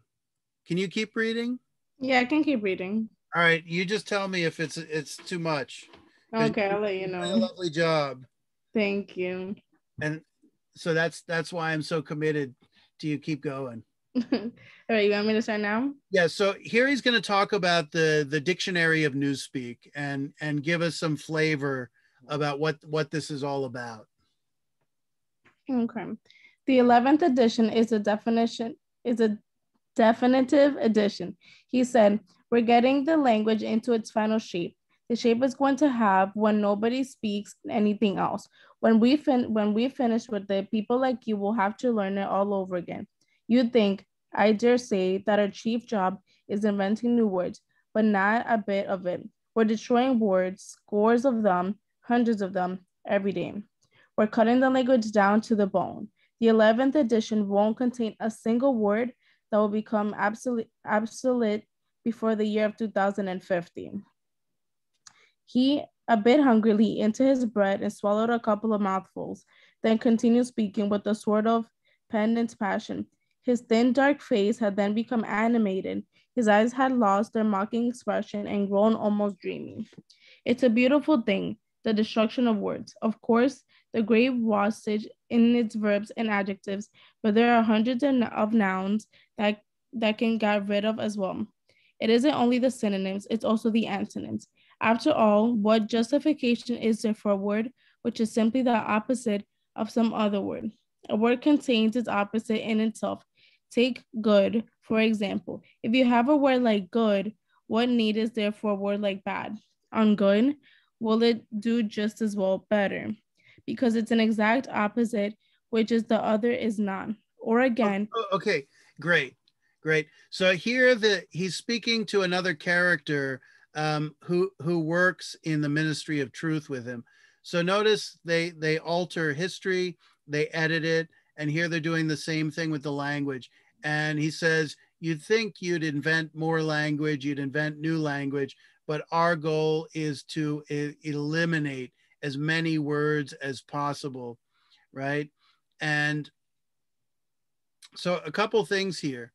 Um, normally, language, because of its combinatory powers, is generative. And by generative, I just mean language is constantly changing and it's constant through our communication, through speech, it's constantly generating new expressions, new uses, new usages of words, new words. So language typically is a con in a constant state of expansion right? Here they want to have this radical contraction. He says, good and bad. Why do you, first of all, why do you need synonyms? Why do you need four words for one concept, right? A good and bad. Why do I need antonyms? Uh, good contains the opposite within it. So instead of saying bad or evil or what have you, we're just going to say ungood, right? And it sounds really awkward what's the logic behind the the the elimination of language here i mean we have this under threat in our own society all the classics are have something wrong with them uh, somebody's a bigot a racist a colonialist uh, they look at the world in the wrong way they represent the wrong people um, almost all great works of classical literature that you could think of have come under attack in the last 50 years, right? Um, and they want to get rid of them and they want to teach other stuff like graphic novels and stuff like that. What's the function of limiting the language? I mean, other than for them to have their own language. Yeah, I mean, I mean, the the the language control has a purpose, right? It's not just so they can have their own language. Like we're from Oceania, and this is the language we speak. That it's not like an aesthetic thing. Well, I mean, it would also be like for the government to continue to control one other thing. Okay. Yes. So i mean who are they ultimate what what are they ultimately controlling by controlling the language? The citizens like the people. How? By eliminating like like freedom of like not freedom of speech but like their like their no, no, no. abs- absolutely. Freedom of speech is involved here and like freedom right. because they're taking away kind of like their right to speak in a way because they wouldn't really be speaking as they normally and, and, and not just the right to speak, but the right to what? To communicate. I don't disagree, but even more base, not just the right to speak, but the right to do what? Have freedom of thought and think yeah. for yourself. And, and, you, I mean, it's not even a matter of being a right, uh, in the sense that if you don't have the language with all the various and variegated meanings, the diverse meanings, you can't think the thoughts right? I mean, this is really crucial. If you don't have the breadth of vocabulary and grammar and com- uh, and all the richness of the language, you can't think all these different nuanced thoughts. And if you can't think those thoughts, you cannot perceive those realities in the world. So by taking away the language, you're taking away the thought. And by taking away the thought, you're taking away the ability of human beings to see those things in the world, right? I don't know. Just think, uh, you know, uh, you had two words to describe everything black and white. All the diversity of the world would be forced into, oh, it's either black or white, or it's same thing, either it's good or bad, right? Uh, eliminating a whole swath of uh, just, you know, nuance about what the world and the nuance of our language allows to have allows us to have greater fidelity to what we're actually experiencing right? So it's part of this reality control that he's been talking about. So we talked about change of history but now we're getting more more fundamental because language is the medium of history right? So it's even more more powerful. Um, and of course one of the primary things that they i mean this is a course on frenemies friendship and human relationships. One of the key th- concepts that they are trying to eliminate is the concept of love in any meaningful sense of the word right? They know hate. They don't know love all right you want to keep going ellie esther yeah i can keep going it would be the next page the string of vague uses words like excellent and splendid and all of the rest of them plus good covers the meaning, or double plus good if you want something stronger still. Of course, we use those forms already, but in the final version of Newspeak, there'll be nothing else. In the end, the whole notion of goodness and badness will be covered by only six words. In reality, only one word. Don't you see the beauty of that, Winston? It was B.B.'s idea originally. Of course, he added he added as an afterthought, a sort of. Let, let me ask is he says you don't need good and bad anymore. You just need good and ungood. Well, is is bad just an opposite for good? So notice he says you don't need words like excellent or splendid, which would be like very good. You just need plus good. It's like plus good. It's it's kind of like saying very good. First of all, look at how they speak. They speak in like acronyms and these like abbreviated. Uh, so I think one one of the issues here is that all these synonyms and these. So first of all, an antonym is not merely simply opposite the other word. It also has other shades of meaning that capture shades of experience. Um, when we talk about excellent or splendid or just good or okay, we're not simply talking about like an high, a hierarchy of how good something was. Each word uh, has its own shades of meaning independent of fitting into that hierarchy of whether something was good, very good, or super good, right? Um, if you're not using the word good, but you're using another word, what you're doing is you're saying something else, right? and they're trying to eliminate that from from people's power of expression. All right, you want to keep going? Yeah. A sort of vapid eagerness fitted across Winston's face, face the mention of Big Brother. Nevertheless, Sam immediately detected a certain lack of enthusiasm. You haven't a real appreciation of newspeak, Winston, he almost said sadly. Even when you write it, you're still thinking of old speak. I've read I've read some of those pieces that you write in the Times occasionally. They're good enough, but they're translations. In your heart, you'd prefer to stick to old speak, with all vagueness and useless shades of meaning. You don't grasp, grasp the beauty of the destruction of words. Do you know that Newspeak is the only language in the world whose vocabulary gets smaller every year? So, so look what he says. He says, you know, all those useless shades of meaning, you're attached to old speak. What what is old speak specifically? English. Yeah, it's it's called the ordinary English language as it's been informed by its history, you know, for a thousand, you know, roughly a thousand years. Are those shades of meaning useless?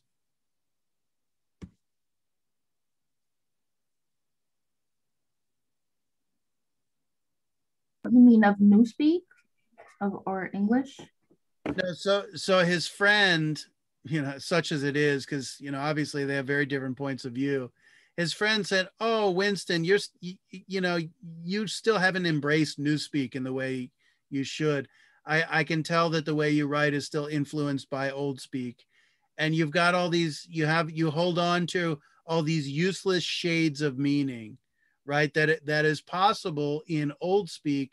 You've got all these shades of meaning um, because you've got the vocabulary to express all those nuances of meaning. Are all those nuances and shades of meaning useless?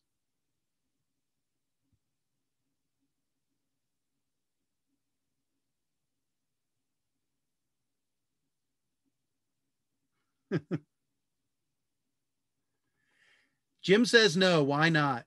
I agree. I'm teaching a literature course. but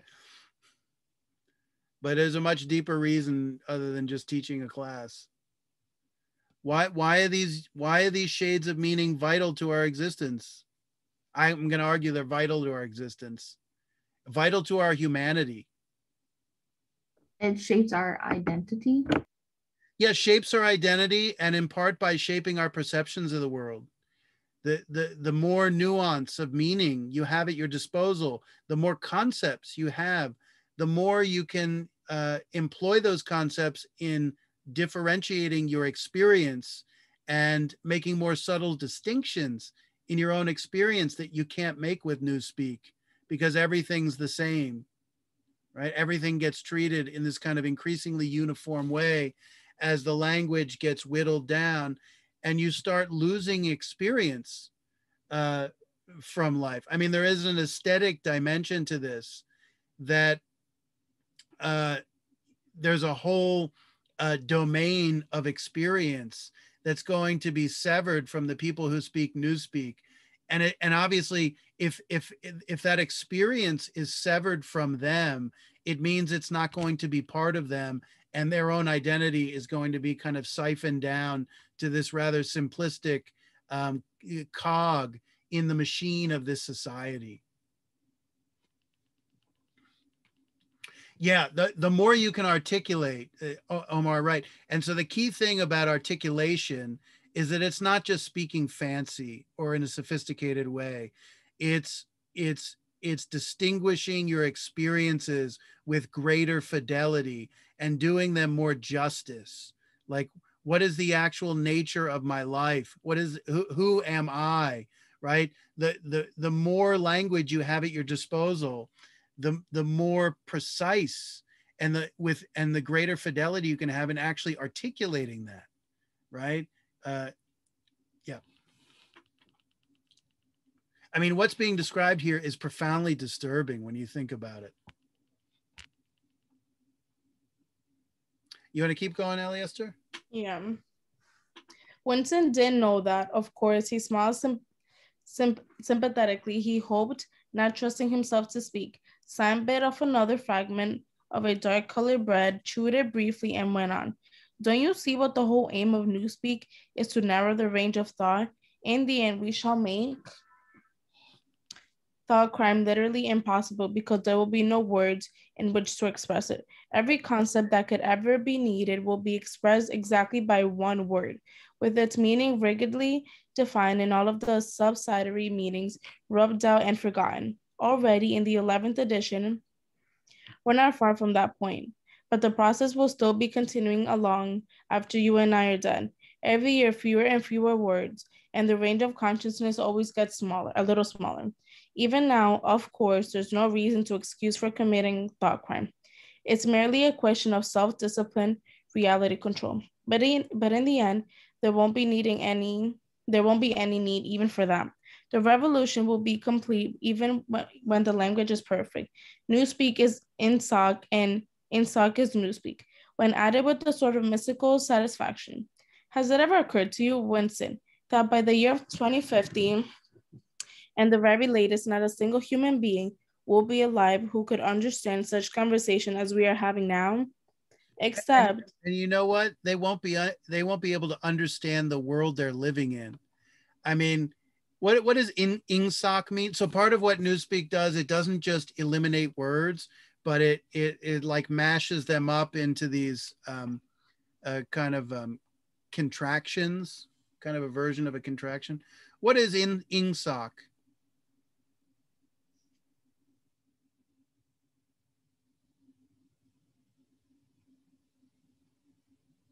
Somebody said it last class, I thought.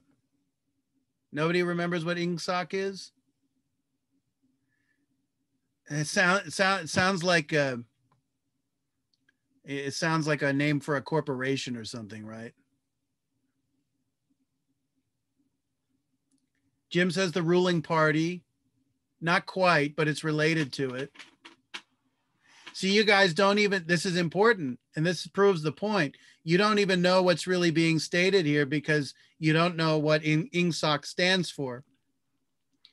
And, and by understanding what the it stands for, you understand truly what its meaning is about. INGSOC is a contraction for English socialism, right?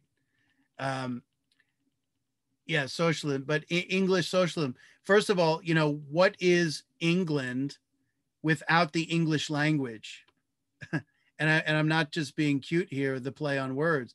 Um, I mean, England is a product of its language. I mean, all nations, one of the central things that shapes their identity is their particular language and its history. And this is all about eliminating the history, right? So think about this uh, in relationship to our society and some of the historical things that they're trying to cancel or destroy uh, and prevent people from having a censor, prevent people from having access to. And of course, socialism.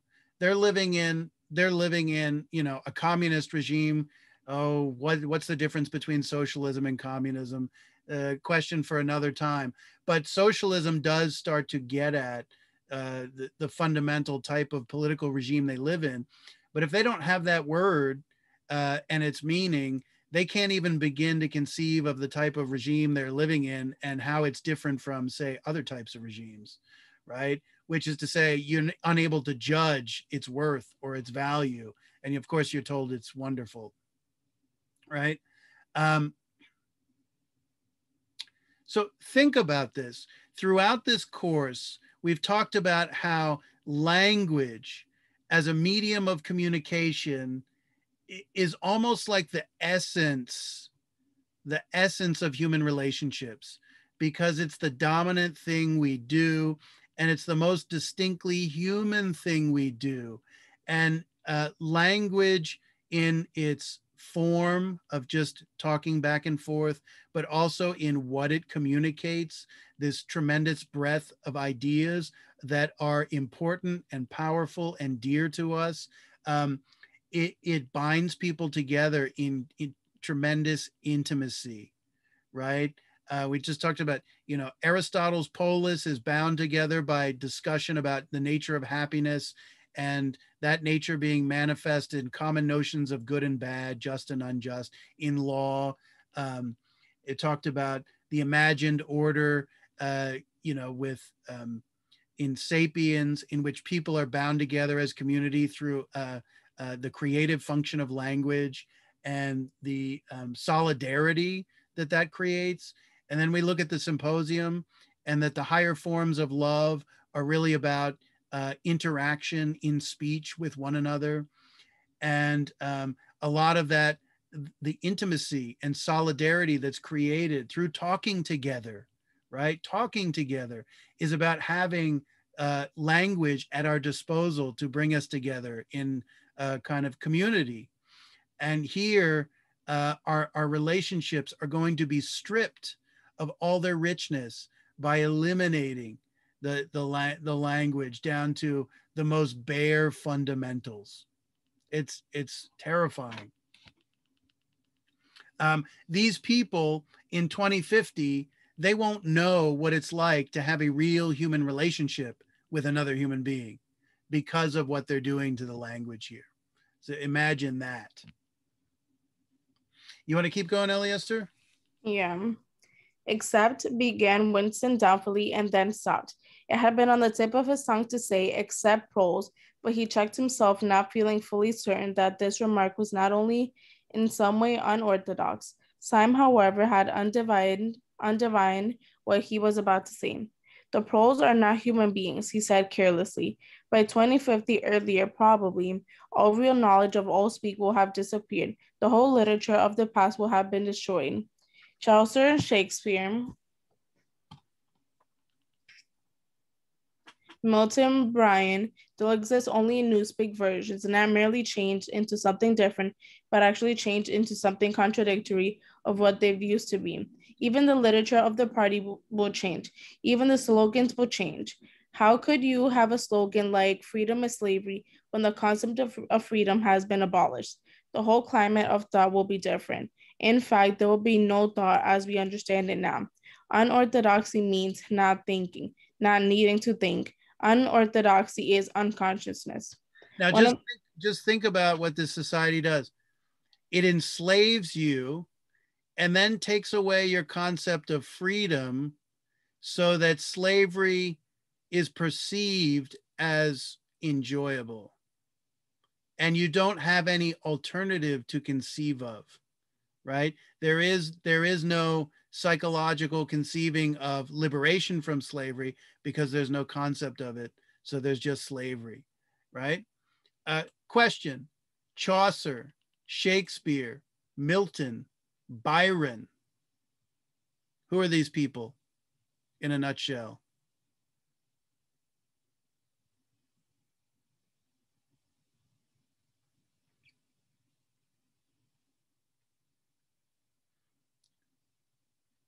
yes, they're poets. Can we be? Uh, can we get a little more specific? I mean, they write about literature. Well, so, they, don't write about. I mean, they write literature. yeah, yeah. Drama, what what have you?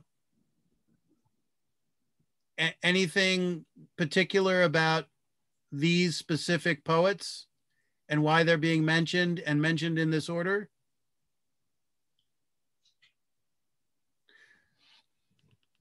first of all, what nationality are they all? They write in the English language? Yes, they're all English poets. They're all presented in historical order from Chaucer, the earliest, to Byron in the 19th century, right? Shakespeare is um, the late 16th, early 17th century. Milton is in the middle of the 17th century, and then Byron is in the 19th century. And not only are they English poets, but they're seen as like the bearers of the English language and having shaped the English language in a kind of decisive way, in the same way that Dante in um, in Italy was understood as literally kind of shaping the Italian language. Um, I mean, there's an interesting story about Dante and the Italian that he wrote in that actually didn't exist at the time because he kind of combined multiple dialects and created a kind of synthesis of different dialects that was unusual. Um, but the point is, the this is like the canon of English literature and the bearers of the English la- language and the shapers of it they're they're like the heart of it, and um, they're they're basically going to be um, uh, you know um, what what's the what's the best expression? They're, they're going to be purified in into to newspeak, and uh, making Milton into Newspeak or making Byron into Newspeak means that it's not Milton anymore, means that it's not really Byron anymore, because Milton and Byron are defined by their language. And if you change their language, they're not really who they are anymore in their in their true in their true meaning. And there's a kind of classic motif coming out of the ancient world that like uh, the poets are the bearers of a nation's language. They speak the lang- language. Um, today, if you think about writers combined with musicians and pop culture, that might be true, true for us. Um, so a, a, lot of our sayings still filter down from like pop music. Expressions come into the vernacular through through pop culture, pop, pop music. Same same idea here. Um,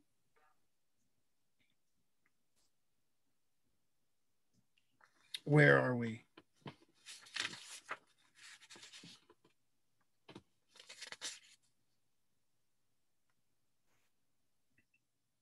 Oh, oh, so one last thing before we move on here. Where, where is it? Um, he says that eventually Newspeak, when it's completed, will make thought crime literally impossible because there will be no words in which to express it. What does he mean by that? People won't even have their own thoughts anymore. Yeah, so if you take the thought the words away from them and you prevent them from using them, they won't be able to have the thoughts. And so, I mean, what's the idea here that any concept that is threatening to the regime that's considered a thought crime will simply the word will be eliminated from the language like freedom eliminated from the language and you won't be able to think it. And because you won't be able to think it you can't be guilty of a thought crime. It's kind of the, the ultimate control system where you take away even the possibility of deviating from uh, you know the, the, the status quo or, or what's expected. Um, so let's let's go forward and we won't go too much longer here but we need to touch on it. Um, in the book it's page 65 and we start talking about the relate the role of sex and how the party views sex in this society aim of the party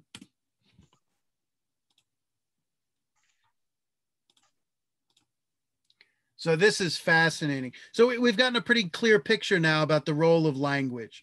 But here we, we come back to this theme. We've talked about it with hate and the way they cultivate hate, but this issue of how they uh, try to destroy or highly regulate any form of human intimacy, right? Uh, as a way of preventing human beings from forming loyalties to one another that would be threatening to the regime. So remember, we saw in Pausanias' speech, the Persians don't allow philosophy and sport and uh, some other things because they think it foments interpersonal relationships that are too strong and when they're too strong people come together and become strong and be they're a threat to the regime uh, and so when you divide them they are weak and we saw that uh, Zeus in uh, in Aristophanes' speech, uh, the human beings become a threat to his power. They they want to become like gods um, because they're whole. And so, what does he do? And when they're whole, they're strong. So, what does he do? He cuts them in half and divides them so they're weak. And he says, If you guys act up again, I'll even cut you again. And this whole theme of divide and conquer, divide and make weak, and then you're not a, you're no longer a threat. How, how you doing, Elias? Do you think you can go a little bit longer? Yeah, I can go a little bit longer. Okay. Settings. So where the yellow is? Yeah, the aim of the party. Okay. The aim of the party was not merely to prevent men and women from forming loyalties which it might not be able to control. Its real, undeclared purpose was to remove all pleasure from the sexual act, not love so much as erotic was the enemy, inside marriage as well as outside it. All marriages between party members had to be approved by a committee appointed for the purpose, and though the principle was never cl- clearly stated, permission has always was always refused if the couple concerned gave the impression of being physically attracted to one another. The recognition the recognition purpose of marriage was to beget children for all the service of the party. Sexual in- intercourse was to be looked on as slightly disgusting minor operation, like having an enema. This again was never put into plain words, but in an indirect way, it was rubbed into every party member from childhood onwards.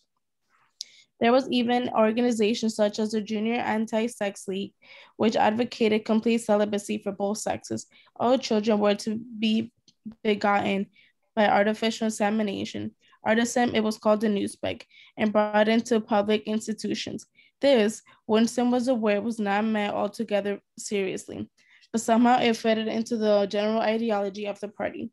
The party was trying to kill the sex instinct, or it would not, or it could not be killed. Then to distort it and dirty it. He could not know why this was so, but it seemed natural that it should be so, and so far as. Okay, so let's stop. So their one of their main goals is to take away pleasure from the sexual act. And I think it's ironic when we think about our own society because it constantly highlights the pleasure of sex and downplays the fact that babies are produced. So there's something ironically kind of puritanical about this world that's that's almost inverted from our own. And I always think that you know if I was going to be a evil genius and craft a totalitarian society, the first thing I would do is to pr- promote everything that our society promotes in order to destroy because they still want to destroy the family in this world. Communism wants to destroy the family. Uh, blm black lives matter they're a communist organization uh, until recently they had posted on their website their official website that they wanted to undermine the nuclear family because it was a product of um, i don't know white capitalism or something like that which of course is absurd because the family is something you know basically universal throughout history across all cultures. But that's another story. But i mean we see the divide and conquer strategy. And uh, you think if it was done today that you would promote like lascivious sexual relations where it was all sex and no genuine emotional intimacy and no um, commitment or duty or obligation to the other person. And that you would um, you know minimize the whole role of child production as a consequence of sex. And sex would just be like uh, pleasure seeking something like that which is almost exactly what we have in our society today right that that you know I, I think to to a great extent leads to a kind of degradation of relationships between human people beings because it trivializes things into just pleasure seeking and, and, neglects all the a lot of the serious stuff that comes with it. Um, why why do they want to destroy pleasure here as part of uh, of of the sexual act?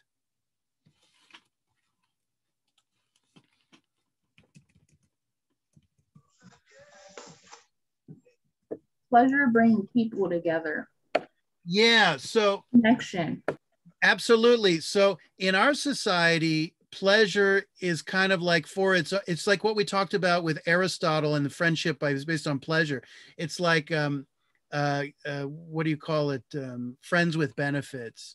And people take the pleasure but don't take the intimacy.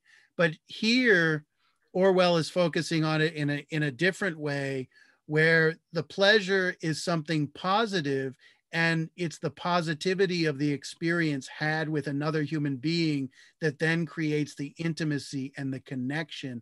And they don't want that connection to happen because as i mean this this states the divide and conquer strategy explicitly. The aim of the party was not merely to prevent women women from forming loyalties which might which it might not be able to control right so that's divide and conquer. So very good. Any other thoughts about why they want to get rid of pleasure?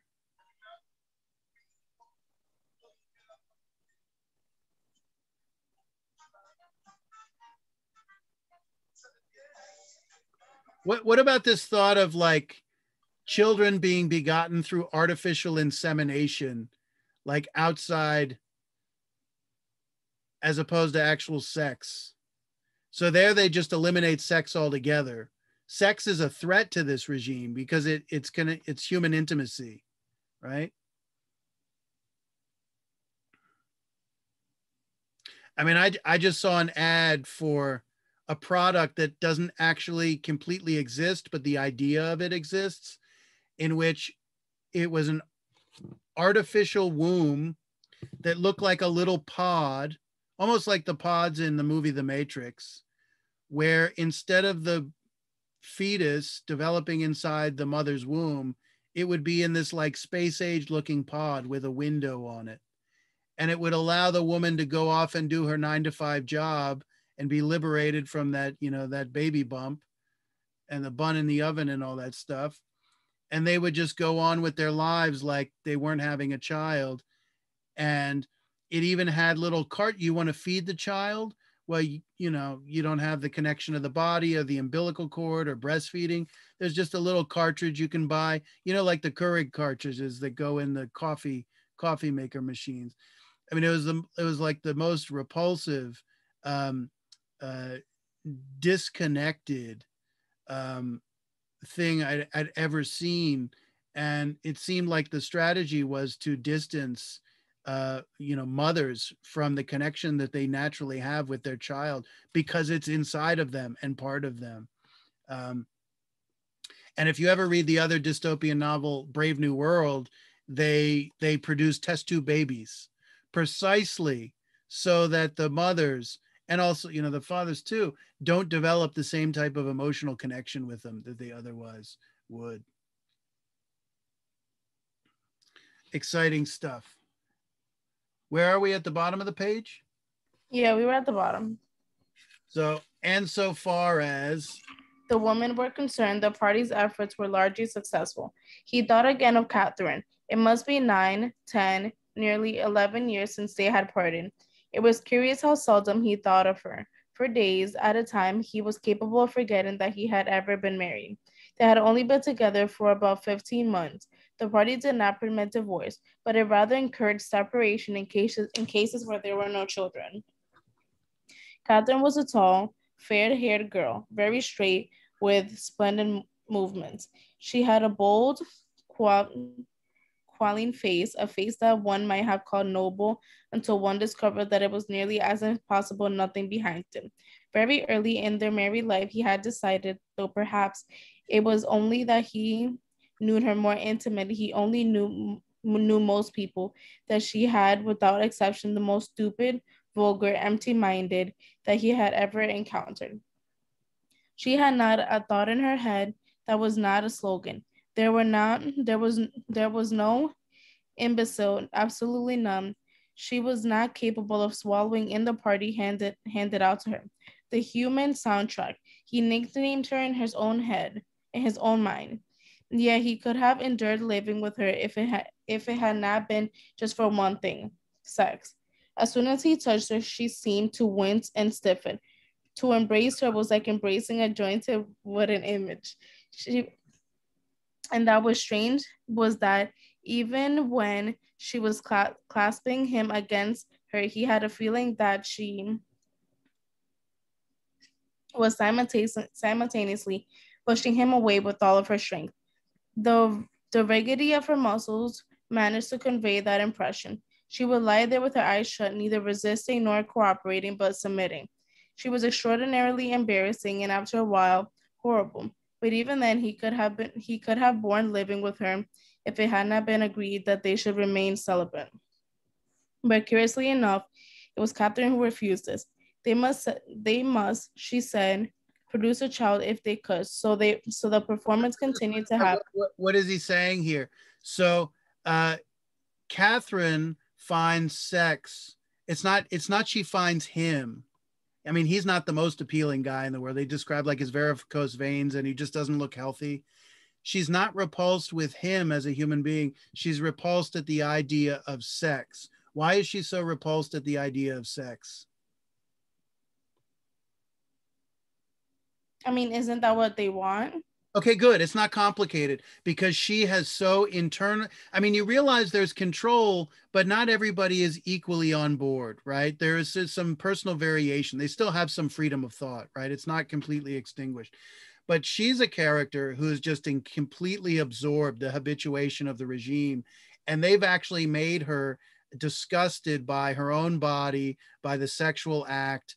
And it seems it's important that um, she's been indoctrinated in this way and she's repulsed by it. And so i mean what what does winston basically say? You know everything would have be, been fine if we didn't have to have sex at all. I, I would have been happy with that. But despite the fact that she was wood like a, a wooden plank uh, embracing her and that she was disgusted by sex she was the one who actually uh, demanded that they do it. And why is that? Why did she feel so obliged to do it so they can have a baby. Yeah, and be and why is that? Because the party told her told her this mm-hmm. is what she should do. So notice she she is not acting on her own desires at all. She's kind of like an automaton. She's not responding to him. She's not responding to his personality. It's not about any expression of mutual warmth warmth. It's about carrying out a duty and a responsibility that the party has given her. Um, You can see she she's like she's kind of like a zombie whose mind has been inhabited, you know, like by the hive mind or something like that. It's it's really terrifying. You you want to keep going? Yeah. So the performance continued to happen once a week quite regularly, whenever it was not possible. Imp- not impossible. She used to even remind him of it even in the morning as something which had to be done that evening and which was not and which must not be forgotten. She like, had two names for like, one. Like brushing your teeth or something like that. Yeah. so one was making a baby and the other and the other was our duty to the party. Yes, she had actually used that phrase. Quite soon. Can you imagine that? Uh, hey, honey, now you we have to do our duty to the party. It sounds so crazy. Yeah. Quite soon, he grew to have a feeling of a positive dread when the day appointed to came around, but luckily no child appeared. And in the end, she agreed to give up trying, and soon afterwards they parted. Winston Slight sighed inaudibly. He picked up his pen again and wrote.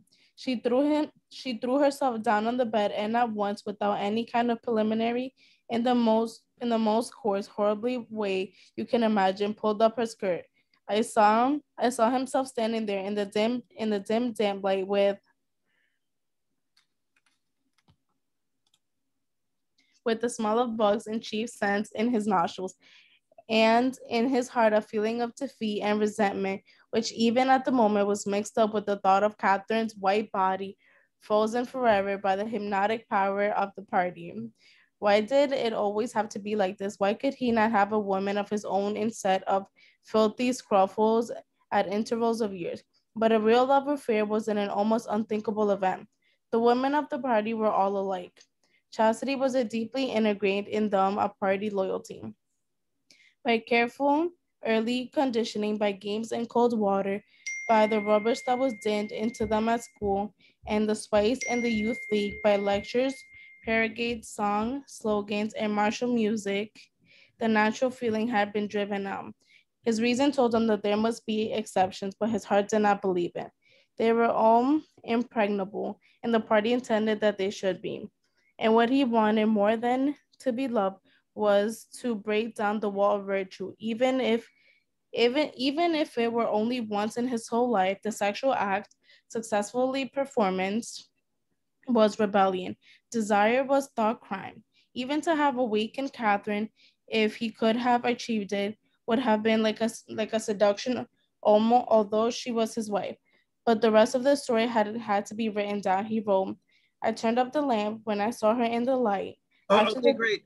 So what, what are these italicized sections of the text? Let's just clarify that. I turned up the light when I saw her in the. I turned up the lamp when I saw her in the light.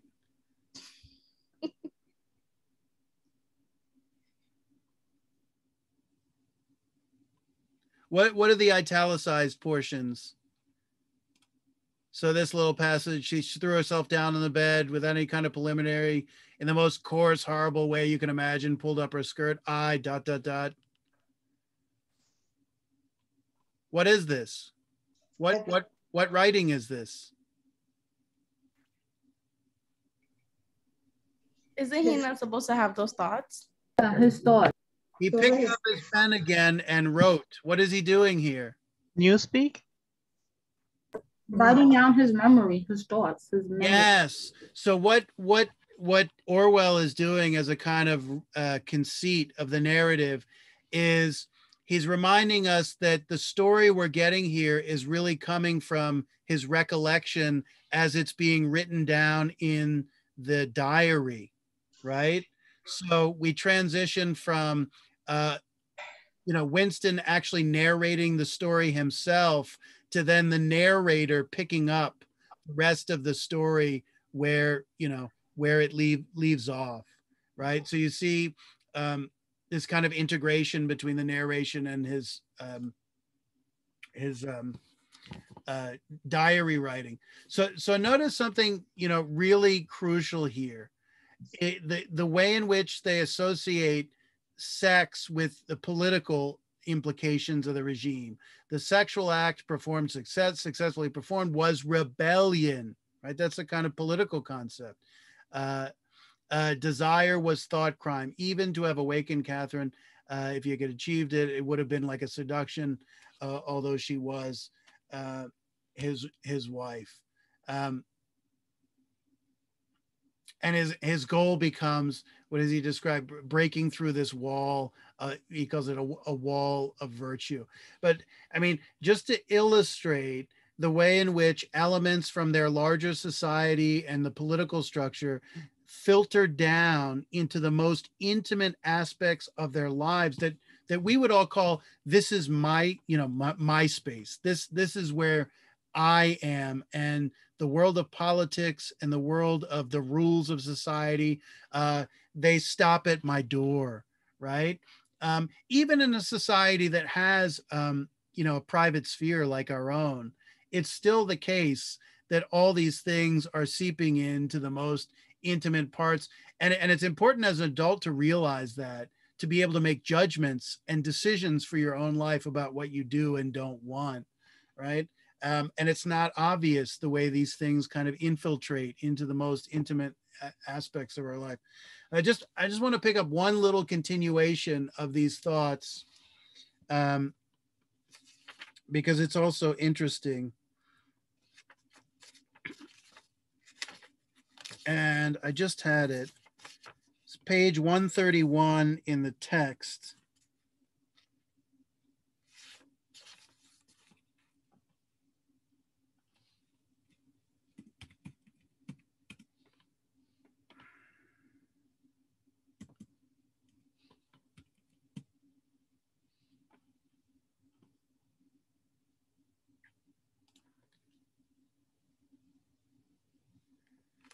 Do.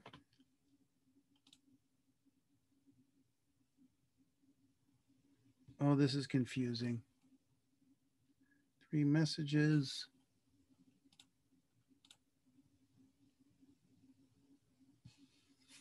Oh, this is silly. He learned.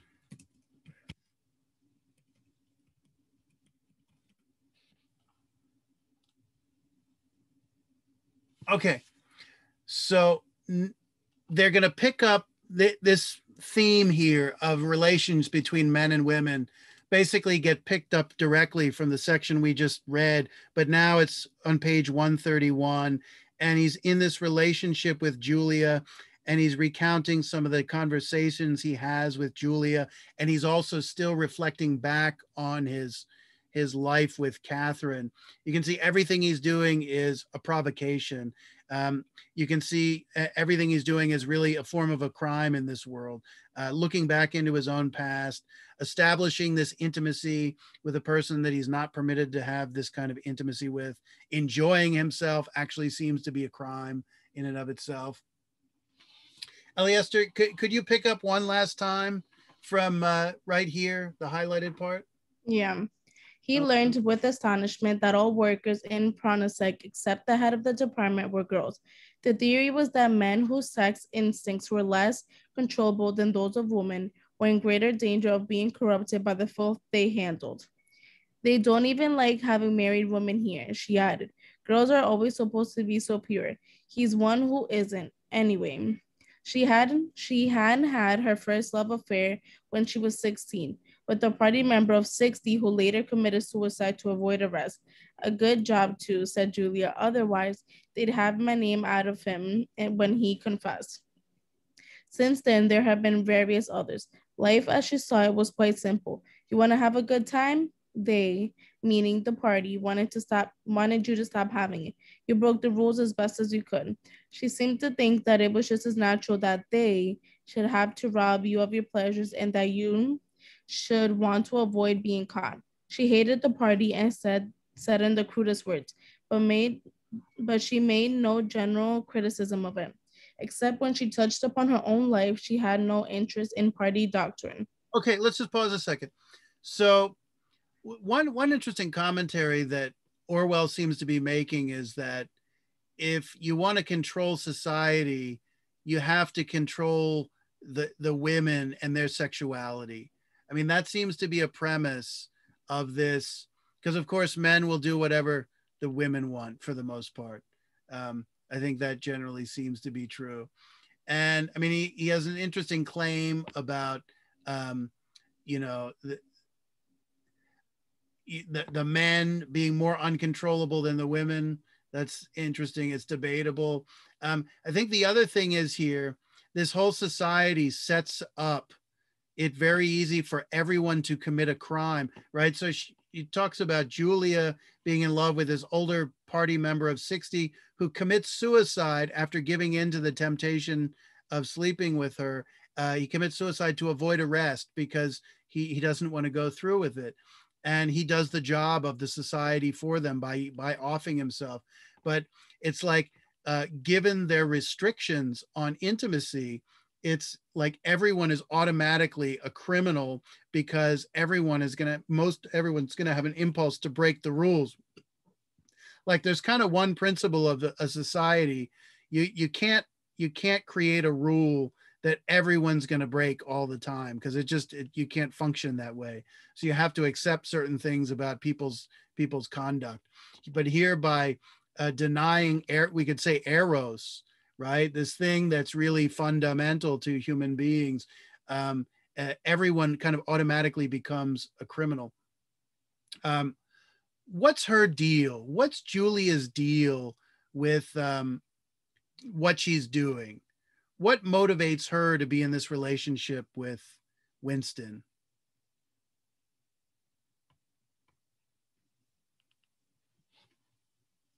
She's able to break the rules with him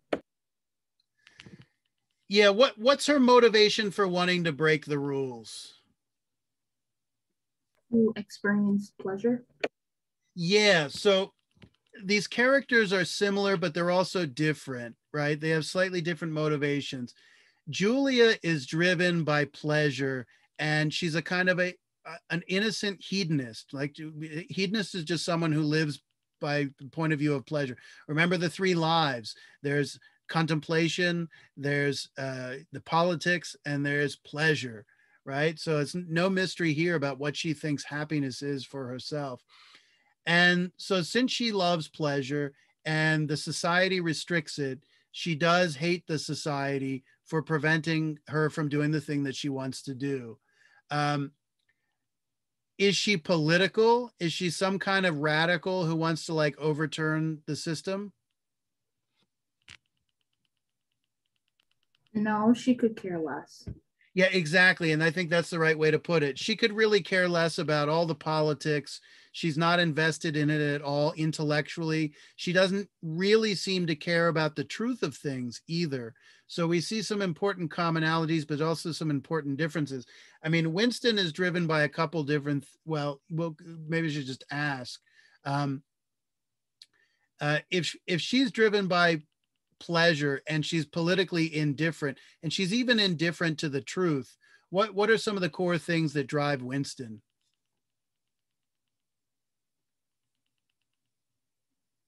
What motivates him on this quest of rebellion? They're they're both engaged in you know uh, these profound acts of rebellion by the standards of this society. Um, trying to find his identity yeah, and absolutely. And I think we might frame it more generally. He he has a genuine concern for the truth, and the truth motivates him. And that's a really actually it turns out the truth is a very intimate practical matter for him because he wants to know more about who he is. Uh, and who he is depends a lot on his own past. Whereas Julia, who she is in terms of pleasure seeking, that's something that kind of can only always be found in the present. Um, and also he has a concern for understanding the truth of the regime he's in. And he and that makes him i think more politically invested. I mean he starts getting ideas of like actually trying to liberate himself from this system. And this is exactly why he's deemed such a threat you know that that he needs to be re-educated in book three by o'brien. Mm. las do you want to go just a little more and we'll call it a night? Yeah um, he noticed that she never used newspeak words except the ones that had that she had passed into everyday use. She had never heard of, of the Brotherhood and refused to believe it in existence. Any kind of organized revolt against the party, which was bound to be a failure, struck her as stupid. The okay. clever thing was question: What is the Brotherhood? Is that the party? Actually, no. Brotherhood is the opposite. Brotherhood are, um, I guess, the group of people who want to take down the party. Yeah, you could call it the resistance, right? And the Brotherhood, it has an appropriate name because I, I, although ironically, it's like Big Big Brother and the Brotherhood. Um, is the Brotherhood real? Does it exist? Nobody knows. Yeah, nobody knows. And just like a lot of things, you don't, you never get certain knowledge about things. But there is a suggestion in book three that the Brotherhood is kind of like a fabrication of the regime to encourage those people who are inclined to be dissidents to then try to seek it out. And by seeking it out, then they can expose themselves and they can catch them. So it's kind of almost like it seems to be used as a kind of bait, although we don't know for sure. Um, so, you know, one element of this society that it's considered is it understands its control is not absolute. It understands that people are going to deviate from the norm. So then they've already set up a mechanism to deal with those feisty people who, who get ideas and are, are free thinkers, right? And they get kind of fed into another system of control, which is they end up at the Ministry of Love. Okay. You want to keep going, Esther? Almost done here. Yeah. The clever thing was to break the rules and stay alive all the same. He wondered vaguely how many others like her there might be in the younger generation. People who had grown up in the world of the revolution, knowing nothing else, accepting the party as something unalterable, like the sky, not rebelling against its authority, but simply evading it as a rabbit dodges a dog. They did not discuss the possibility of getting married. It was too remote to be worth thinking about. No imaginable committee would ever sanction such a marriage, even if Catherine's Winston's wife could somehow have gotten have been got rid of. It was hopeless as a daydream. Was what was it? She like your wife, said Julia. She was, you know, newspeak word good, thankful, meaning naturally orthodox, incapable of a bad thought. No, I did not know the word, but I know the kind of person. But I know the kind of person, right person. He began telling her the story of his married life, but curiously spread spread she appeared to know the essential parts of it already. She described to him almost as though she had seen or felt it, the stiffening of Catherine's body as soon as he touched her, the way in which she still seemed to be pushing him with her with all of her strength, even with her arms were clasped tight around him. With Julia, he felt no difficulty in talking about such things. Catherine, and any in any case, had long ceased to be a painful memory and became merely a distasteful one. I could have stood in I could have stood it if it hadn't been for one thing, he said. He told her about the frigid little ceremony that Catherine had forced him to go through on the same night every week. She hated it, but nothing would make her stop doing it. But she used to call it, but you'll never guess. Our duty to the party, said Julia promptly. promptly. How did you know that? I've been at the school too. Sex talks once a month for over for over 16s and in the youth movement. They rub it into you for years. I dare say it works in a lot of cases, but of course you can never tell. People are too are such hypocrites. She began to enlarge upon the subject with, with Julia. Everything came back to her own sexuality. As soon as it was touched upon in any way, she was capable of great, of great acuteness. Acuteness. Acuteness. Unlike Winston, she had grasped the inner meaning of the sex of the party's sexual Puritanism. It was not merely that the sex instinct created a world of its own, which was outside of the party's control and which therefore had to be destroyed if possible. What was more important than a sexual privation, pri privation induced hysteria, which was desirable because it could be, be informed into war fever and leader worship. The way she put it was, when you make love, you're using up energy. And afterwards, you feel happy and don't give a damn for anything. You can't bear you to feel like I, they can't bear you to feel like that. They want you to be. Oh. Bursting with energy all the time. All this marching and up and down and cheering and waving flags is simply sex gone sour. If you're happy inside yourself, Why would you get excited how Big Brothers and the three-year plans and the two minutes of hate and all the rest of the and all the rest of their bloody rot? Okay, great, great. So he says that she discovered the inner meaning of the party's sexual puritanism, or he might just say their their their strategy of of controlling and utilizing the sexual impulse. He said it was not merely. Uh, I'll, I'll go back here. It it was not merely that the sex instinct created a world of its own which was outside the party's control.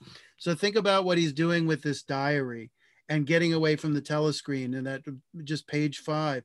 The goal is to get outside the party's control to create one space of one one's own because a human being instinctively wants to be free because they want to live in, in accord with who who they are and what their desires are if nothing else right?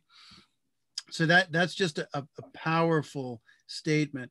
And then he said but there's another a- aspect uh, and which therefore had to be it had to be destroyed if possible. But what was more important was sexual privation that w- was that sexual privation induced hysteria. What is what is privation? What is privation? Like not having like Yeah, um I I, I can't think of a synonym right now because um, like deprivation. Yeah. Right? Um, you, you're you're you you're forced to abstain from it, right? Yeah. And so it's just a basic model of like um, of uh, psychological energy uh, that would otherwise have gone into um, physical intimacy that then uh, is is built up and it's just kind of there. And what do they direct it what is the regime directed into? If it's not going to be directed if all this psychic energy is not going to be directed toward um, human intimacy is going to go to hate. Yeah, hate uh, cu- coupled with war, and of course, war is connected with hate in terms of these like bellicose, violent f- feelings. Talks about a war fever and leader worship, which is that Big Brother becomes like your substitute object of desire, ra- rather than the human being next to you, right? Um, this kind of patriarchal image of the, the, the kind of fascist fascist leader. And then, you know, she gives this whole description about, you know, no one would give two shits about the three year plans and the two minutes hates and all this nonsense or, or Big Brother. Um, if they were just able to enjoy themselves properly. And clearly you realize that, you know, she's kind of outside the system because she's been able to enjoy herself and gain like what seems to be genuine satis- satisfaction. It's the one thing she knows about intimately and she may be kind of ignorant about other things or just indifferent to them but she i mean winston acknowledges she has an understanding of this dynamic better than he does um yeah Eliester, you go just about one more paragraph and we'll call it a night. Yeah. Where did I leave it? Oh. I think uh, that was very true. Oh yeah, that was very true. He thought that was a direct, that was a direct, intimate connection between cha- between chastity and political orthodoxy. For how could he fear the hatred and the lun- the lunatic credu- credulity credulity which the party needed in its members to be kept at the right pitch, except by bottling down some powerful instinct and using it as a driving force. The sex impulse was dangerous to the party, and the party had turned it to account. They had played a similar trick with the instinct of parenthood. The family cannot actually be abolished, and indeed, people were encouraged to be fond of their children in almost an old fashioned way. The children, on the other hand, were systematically turned against their parents and taught to spy on them and report their deviations. The family had become, in effect, an extension of the thought police. It was a device by means of which everyone could be surrounded by night and day by informers who knew who knew him intimately. Okay, great. So ultimately their goal is to destroy as much as they can and they even realize they can't completely do it to destroy the family. Why why do they want to do their best to destroy the family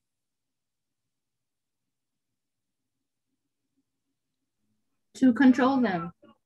Yeah because the family is what?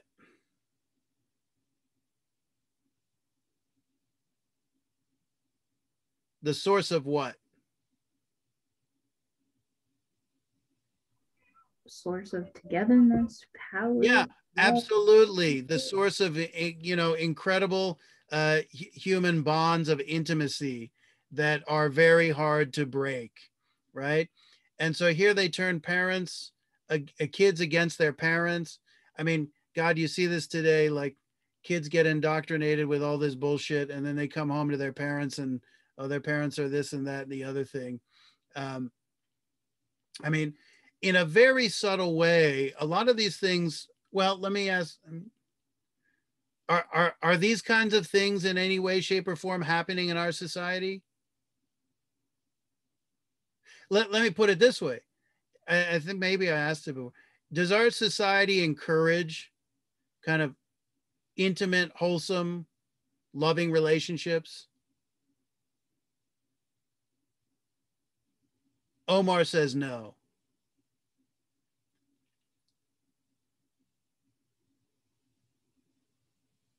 What do other people think?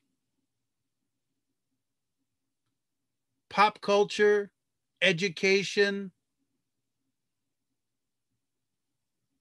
Cynthia agrees with Omar. Okay. So so let, let's let's ask this and we'll call it a night you would think that our society would be more i mean yes we all want to experience what's out there in the world and to get a taste of all the different flavors and whatnot we don't want to be prudes or puritans because that's not cool. Uh, we want to be open-minded and so on and so forth. But what kind of society promotes i mean I I could make a long list of different things in terms of uh, you know images of relations of in, in you know music videos or film or television i mean if we're not promoting kind of basic human solidarity let's put it that way because all families are a little different like I mean, isn't that beneficial to society? Why would a society actively cultivate conflict or lack of intimacy between its members? Like, what's the goal of that? Here it's divide, described very clearly. But of course, what we're looking at in this book is a totalitarian regime where we get exactly why they're trying to divide and conquer. Why is this happening in our society? I mean, let's give a brutal example. A little over a year ago, they passed an abortion bill in Albany, in the state capital, which was like um, if the child survives the abortion, you can kill it after it's already been born. And this was much discussed in like Virginia politics and New York politics and a couple places around the country. Like it seemed rather obscene that they would promote something like that. And you go you go Google it. I mean, this is not um uh you at that point we we can all get in a debate about when life begins and there are reasonable differences about that and so on and so forth. But if a child is out of the womb and breathing and alive, right? And you're making a law that permits you to extinguish its life, to, to murder it or to kill it, if you want to look at it. Um, you know, th- that's something that's no longer about just like women's rights to choose or um, them having their lives in their own hands, the, their body, their choice. You're starting to get into some kind of general disregard for human life that's very different than just the issue of abortion. And of course, abortion is tied up with a, with a lot of, you know, some of the dynamics um, you know, because of course, sex, you know, sex produces children. Last time most people checked, so um, if you don't want to have a kid, you know, don't don't uh, just avoid it. um, yeah, I I shouldn't leave it on that down. It's such a a dark note, but there's something off in our society about the, the extent to which it doesn't promote like kind of the the basic wholesome and it comes from the media and it comes from academia to some extent and it comes from the government in the laws that it promotes. And um, i mean uh, throughout human history every theorist every every thinker has said you know if you want to have a healthy society you have to have the strong foundation of like families. Now now maybe in one society versus another the conception of the family is a little different but i mean the basic notion of human solidarity i see so much stuff in our media that promotes um uh you know something that's not like human intimacy and it's a lot of it's pretty disturbing. Any any, any thoughts about that yeah i agree. Um the number one thing that came to my head was um reality tv for some reason. Yeah it's all catty people in competition with one another things of that sort. Getting kicked off the island. I don't know i haven't, I haven't watched a whole lot of reality tv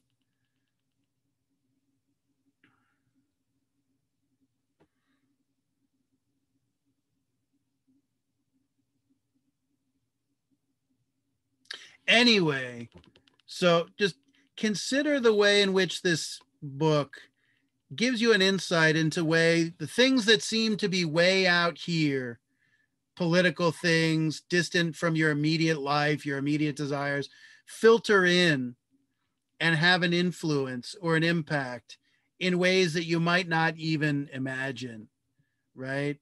Um, i mean it's part of life um, being aware of the choices that you actually have at your disposal. If you're not aware of the choices, you you obviously aren't free to make them.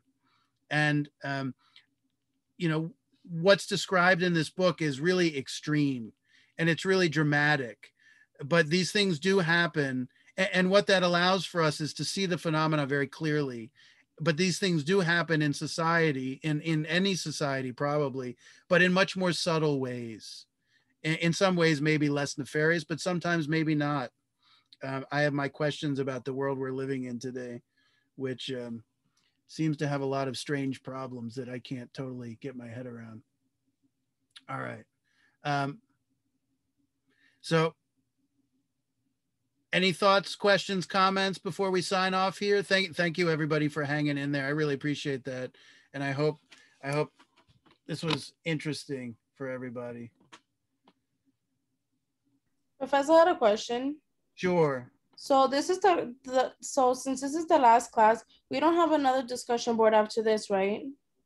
No, no, no, oh, because no. I had seen like after this one, it showed like week 13 and that one was empty. Oh, okay. So I I had um I had other discussion boards that I left on there, but they they're they're not no.